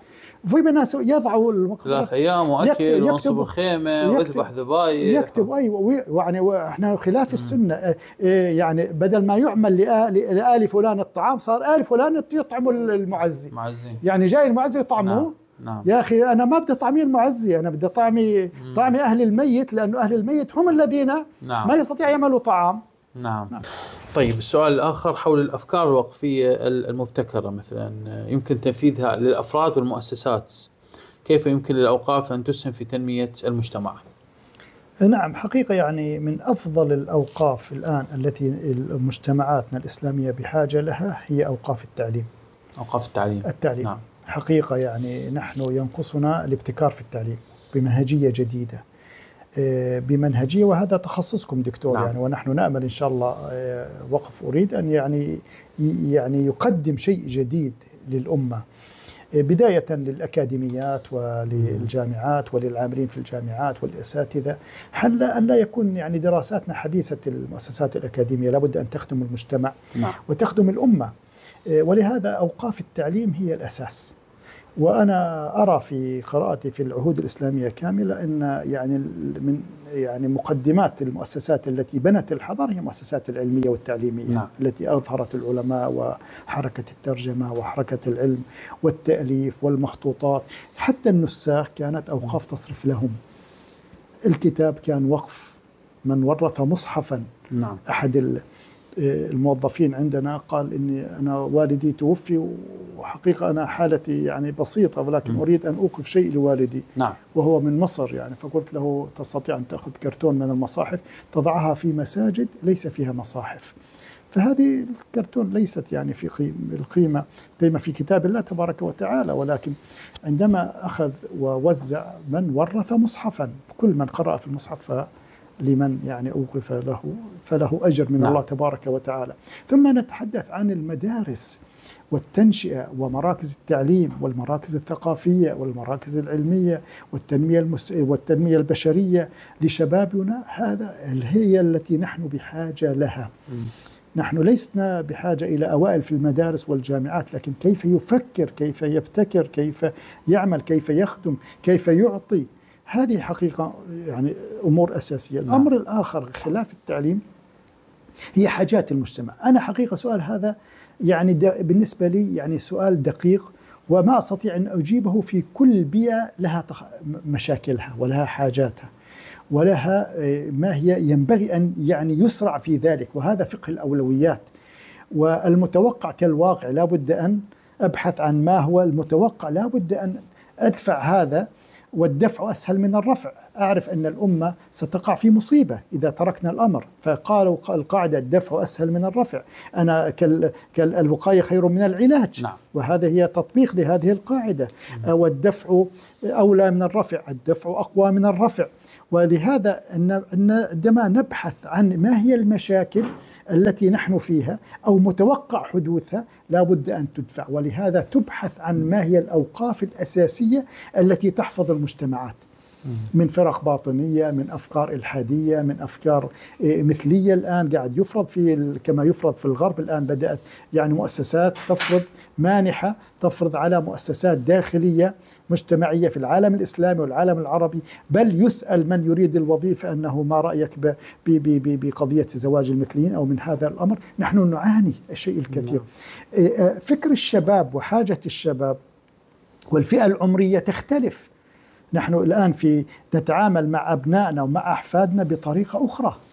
يعني نعم. الآن أحفادنا والله الأحفاد عندما رأى تليفون في البيت عندي تليفون في زاوية تليفون الأرضي يسألني هذا إيش أقول له تليفون؟ يظن أني قاعد يعني إيه، إيه، أتحدث ب يعني أني أمزح معاه ولا يعني. فقال تليفون كيف تليفون؟ أين التليفون؟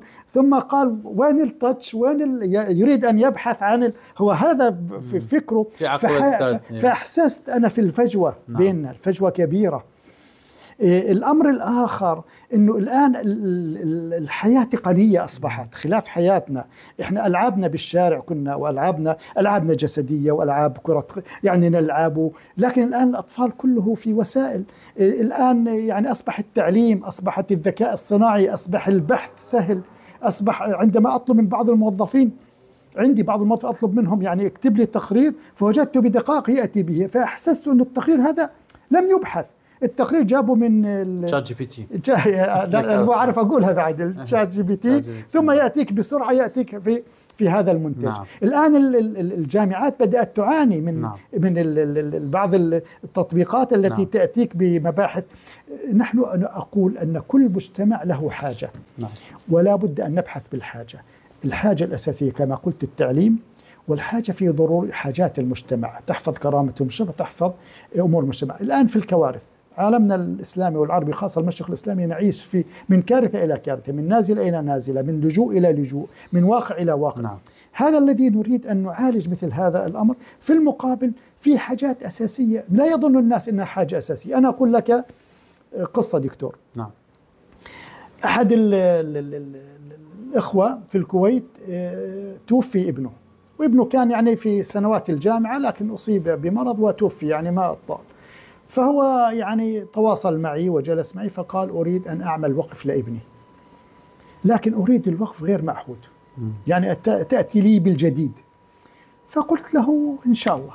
أنا سأقترح عليك اقتراح مبدئي. نعم. ما رأيك بوقف المقبرة؟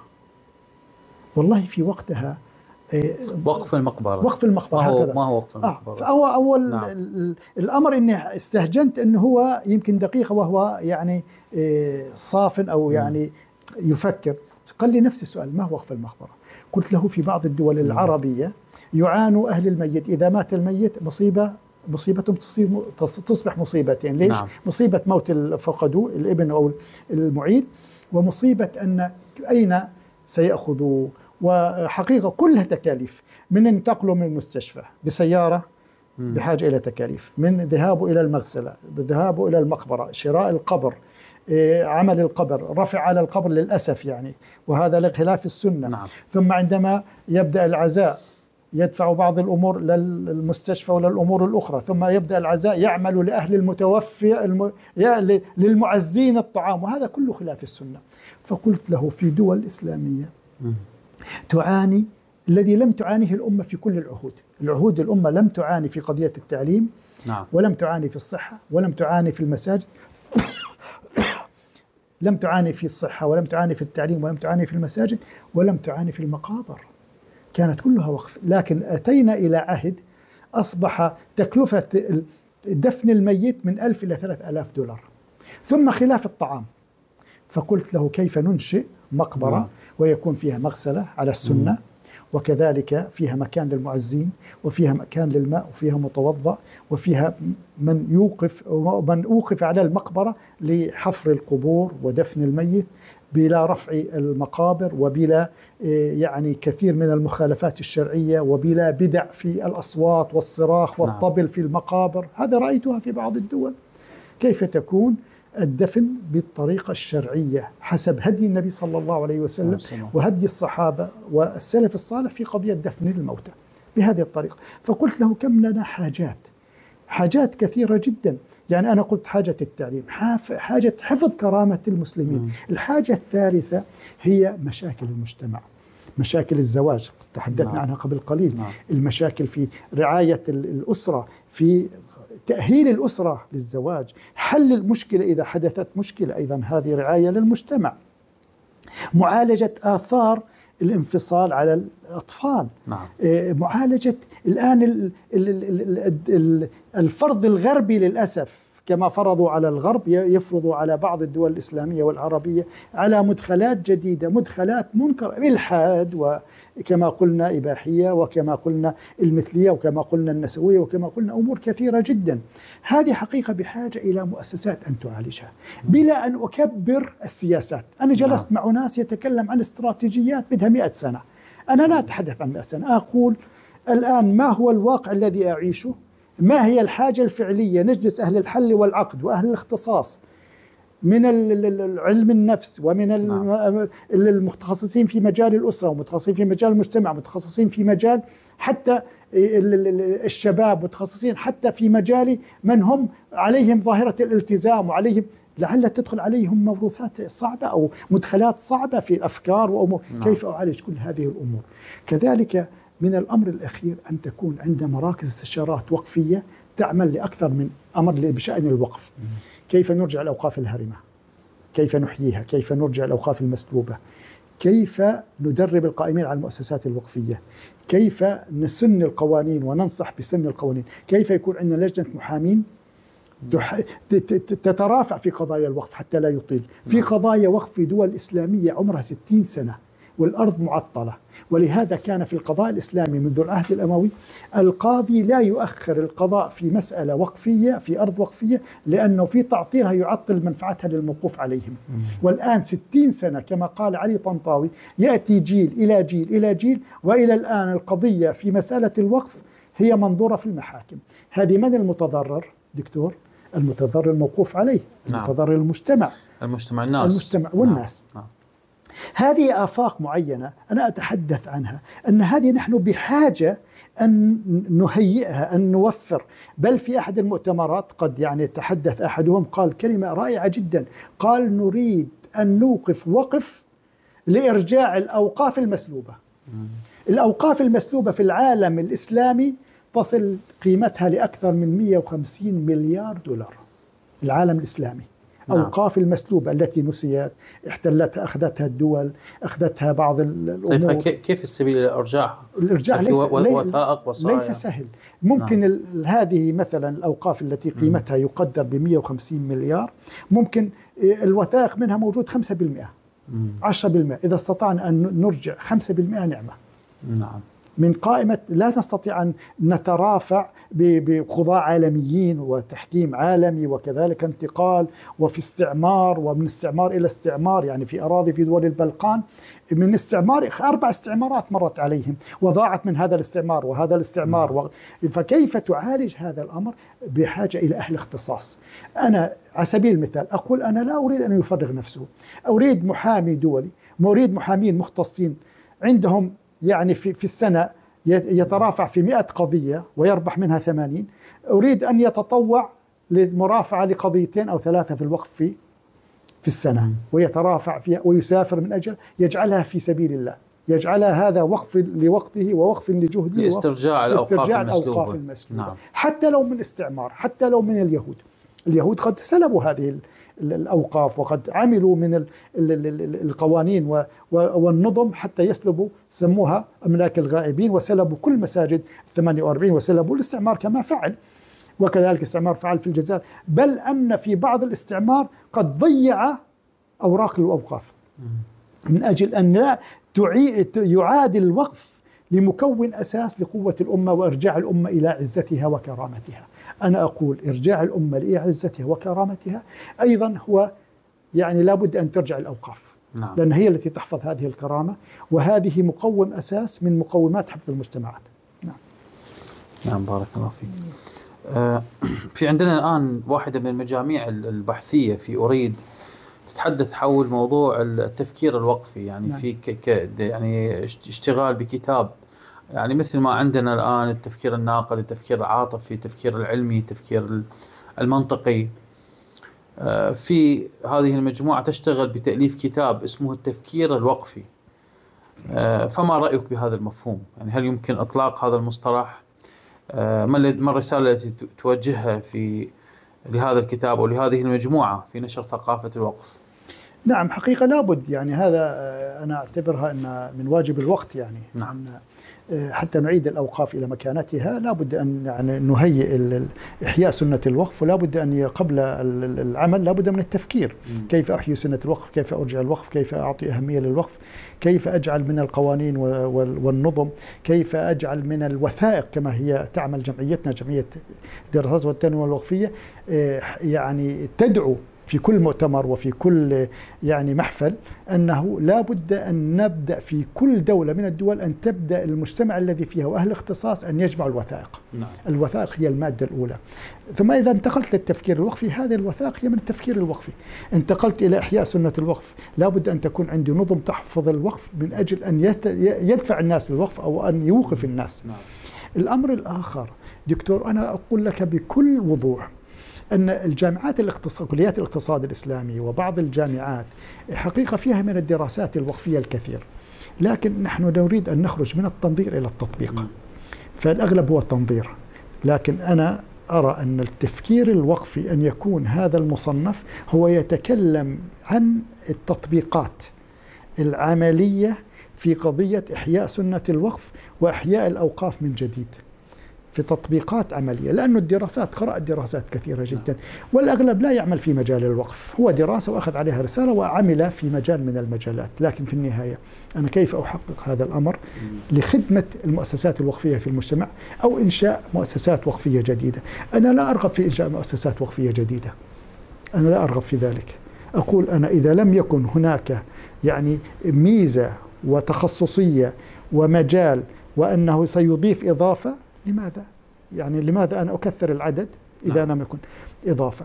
على سبيل المثال أنا أتفاجأ وأنا أعمل في مجال العمل الخيري والوقفي ولفلسطين على وجه الخصوص. أتفاجأ الآن كثير يدعو إلى آه، وقف آه، دعوة إلى أوقاف جديدة في القدس أو للصرف على القدس. فأنا أقول كلمة عندما أنتم تبحثوا عن المف... عن الم... ال- ال- الموجود الآن رعايته حقيقة ضعيفة. وتبحثوا عن إيش؟ عن الجديد. نعم طيب المفقود لماذا لا تبحثوا عن المفقود؟ سألني أحدهم إيش هو المفقود؟ قلت أتعلم أن منذ فتح عمر رضي الله عنه إلى عهد قريب كم من الأوقاف في كل العهود الإسلامية أوقفت للمسجد الأقصى في العالم الإسلامي؟ مم.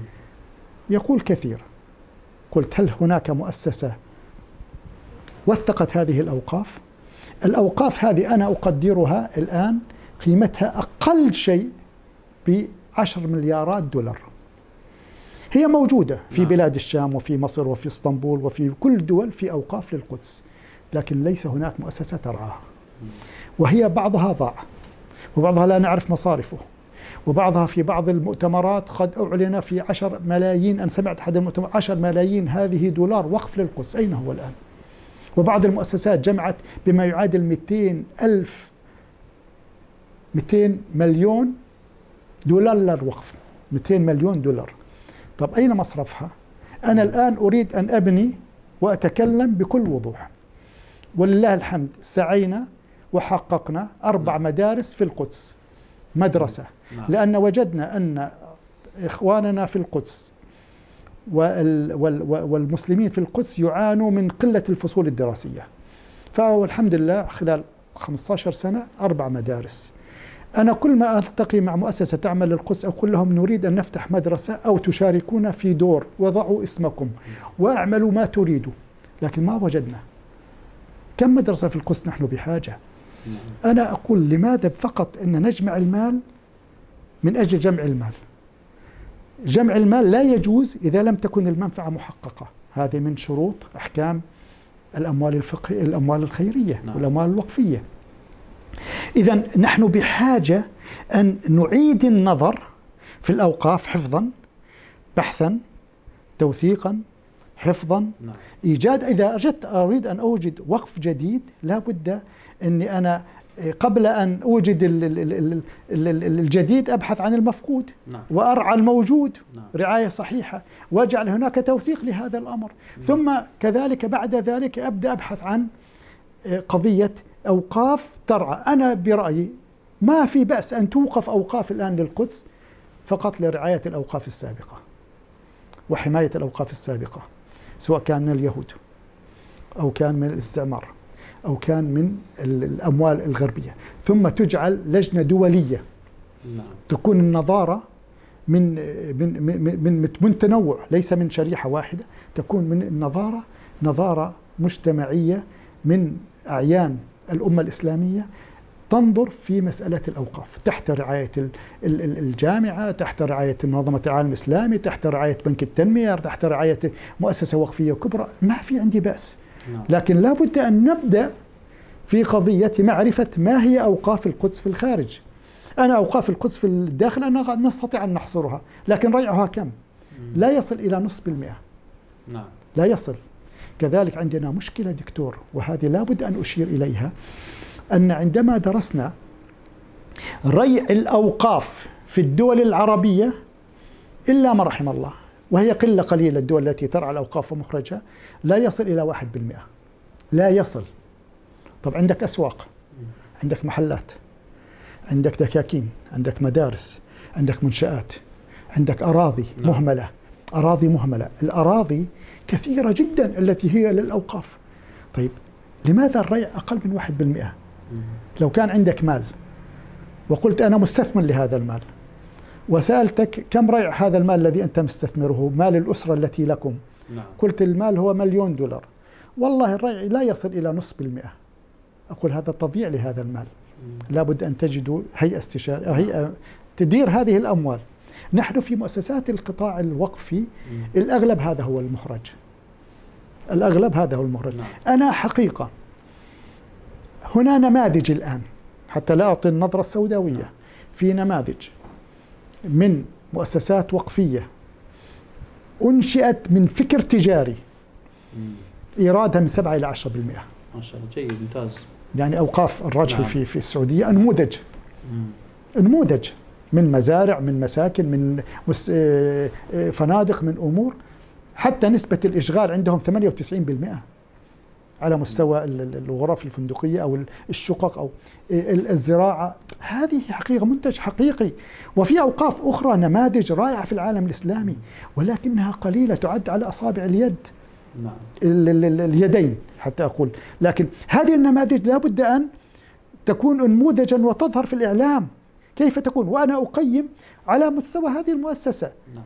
كم من أموال أوقاف ضاعت؟ ولم تستثمر بطريقة صحيحة. نعم. جزاك الله خير. بارك الله فيك. جزاك الله خير. حياكم الله. آه، في عندنا موضوع نعم. وقف الذكاء الاصطناعي. يعني نعم. الآن في منصة تريد نحن آه، في طور تأسيس وقف نعم. خاص بالذكاء الاصطناعي. العناية حقيقة بعلم الذكاء الاصطناعي موضوع الدورات نعم نعم. والمحاضرات واست يعني استجلاب الخبراء نعم. في هذا المجال يعني. آه، فكيف تقيم وترى إنه وقف الذكاء الاصطناعي يمكن أن يسهم في تطوير ثقافة الذكاء الاصطناعي في الأمة؟ آه، نعم حقيقة أن من أول ما سمعت منك يعني هذه الفكرة يعني أثنيت عليها حقيقة. ووقف الذكاء الصناعي هو يعني وقف آه، مطلوب الآن. نعم. إيه، كون إن الذكاء الصناعي هو علم الآن يعني ما تبحث إلا يظهر لك الذكاء الصناعي وتطبيقات كثيرة. والذكاء الصناعي كما تفضلت هو في إيه، مجال المجتمع ومجال التجاري والمجال العلمي والمجال الاقتصادي ومجال الدولة ومجالات كثيرة جدا. إيه، أقول أن يعني وقف للذكاء الصناعي هاي فكرة إبداعية. لانها في مجالاتها متعددة. ويعني جلب المختصين في هذا الجانب حقيقة يخدم يخدم في أي مسائل. طبعا القطاع التجاري هو شغال في الذكاء الصناعي بما يحقق له مكاسبه ويدفع له نعم. جزء من أرباحه. مم. أما المؤسسات الخيرية والوقفية والدعوية والفكرية والتنموية التي تخدم المجتمع هل تدفع من مبالغها للذكاء الصناعي؟ لا. نعم. لا تجعله بل بعضهم يعتبره هو إسراف أو يعتبره مصرف في غير مكانه نعم. لا بد أن تنشأ يعني هذه الوقفية وأن تحدد مجالات هذا العمل. حتى في مجال من يتحدث الآن في مجال آه، تخريج الأحاديث.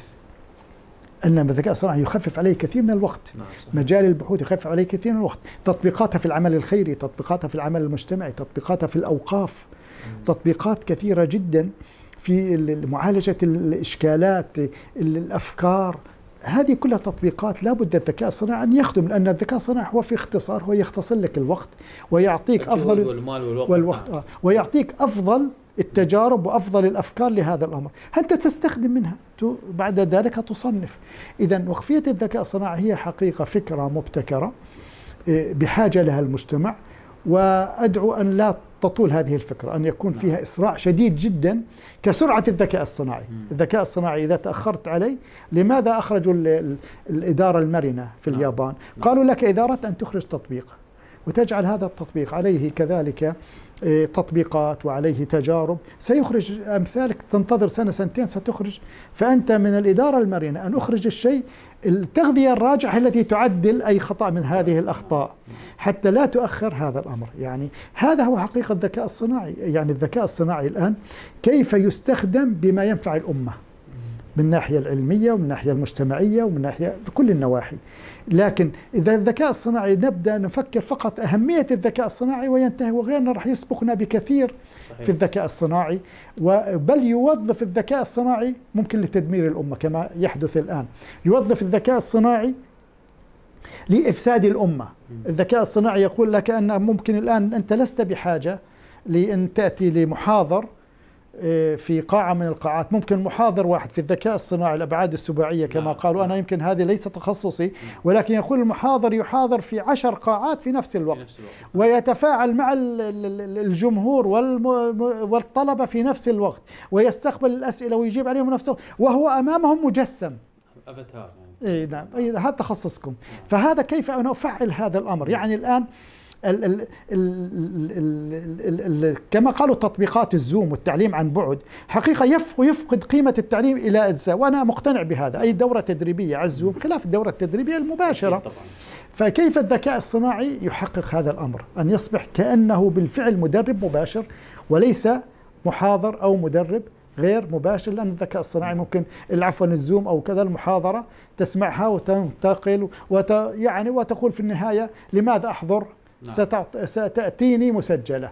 هكذا. نعم. كما قال أحدهم كنت أقول له يعني عالم من العلماء أتى إلى الكويت فلنذهب نحضر. قال في الأخير أسمعها في اليوتيوب لا تتعبني. يعني هكذا. لكن كيف نعالج هذا الأمر؟ نعم. لكن حقيقة أنا أثني على هذه الفكرة وأقول لكم اسرعوا فيها. نعم. الله يبارك فيك. أه شيء ك يعني ك ككلمة أخيرة توجهها لمنصة أريد لأعضاء منصة أريد. يعني كيف تقيم المنصة ومشروع المنصة و هذه الحركة العلمية الناطقين بالعربية وبغيرها. حقيقة المنصة يعني بداية فكرة رائدة وحققت بعض ال ال يعني المقاصد التي لها ولا الآن ما شاء الله قاعدة يعني تسعى لتحقيق مقاصد أخرى خاصة في وقفية أريد يعني. نعم. وقف أريد حقيقة يعني نريد أن يساهم الجميع في هذه الوقفية. وعلى الأقل يعني كما يعني عندما سمعت بها نعم. ولعله في حديث سابق تحدثنا قلت يعني على الأقل كل مشارك وأنا أبدأ بنفسي على الأقل 100 دولار لهذا الوقف لأنه هذا أجر يستمر نعم. لك. وهذا يكون له يعني إيه، سبق درهم مئة ألف درهم. هذه أول أول أمر. لابد من المساهمة لابد من البذل. الأمر الثاني أن المنصة السعودية خدمتك بشكل كبير لسنوات فلماذا لا تخدم؟ الأمر الثالث منصة أريد هي التي بدأت في قضية تعطي تطبيقات العلم نعم. الذي يرى موروث ومخرجات منصة أريد يعني يهتم بالتطبيقات ونحن الآن يعني لسنا بحاجة إلى التنظير وكم من منظر لكن مجال التطبيق هو الذي نركز عليه بشكل كبير جدا ولا بد أن يكون المشاركة من الجميع يعني أنا ليست يعني في هذا الوقف ولكن نعم. أنا أدعم أي وقف جديد يخرج بمخرج جديد ومنتج جديد ويريد أن يكون له مخرجات جديدة. لا بد أن يسعى فيه الجميع. الآن المنصة أريد فيها كم مشارك 122 ألف واحد. 122 ألف باحث. نعم. ولله الحمد تخدم منصة أريد بلا مقابل. بل تهيئ لهم منصات يتحدثوا. نعم. ومنصات يعطوا آه، زكاة العلم. وأقول بل أن من زكاة العلم كذلك أن تعطي وكذلك أن تبذل وكذلك أن نؤسس لوقف يصرف على الذكاء الصناعي ويصرف على مخرجات هذا الأمر تحت منظومة دقيقة جدا. بداية لا يجمع المال إلا إذا كانت منظومة جمع المال وحفظ المال وصرف المال هي أشبه بمنظومة النظارة. هذا وهي بل هي ستكون منظومة النظر حفظا لهذا المال. نسأل الله سبحانه وتعالى أن يوفقكم لكل خير. يبارك. الله يبارك. الله خير شكرا جزيلا على هذا اللقاء الماتع. استفدنا منه كثيرا. بارك الله فيكم. وإن شاء الله لنا يعني لقاءات وملتقيات قادمة بإذن الله تعالى. بإذن الله. وأشكركم جميعا على بارك. الاستضافة. وجزاكم الله خير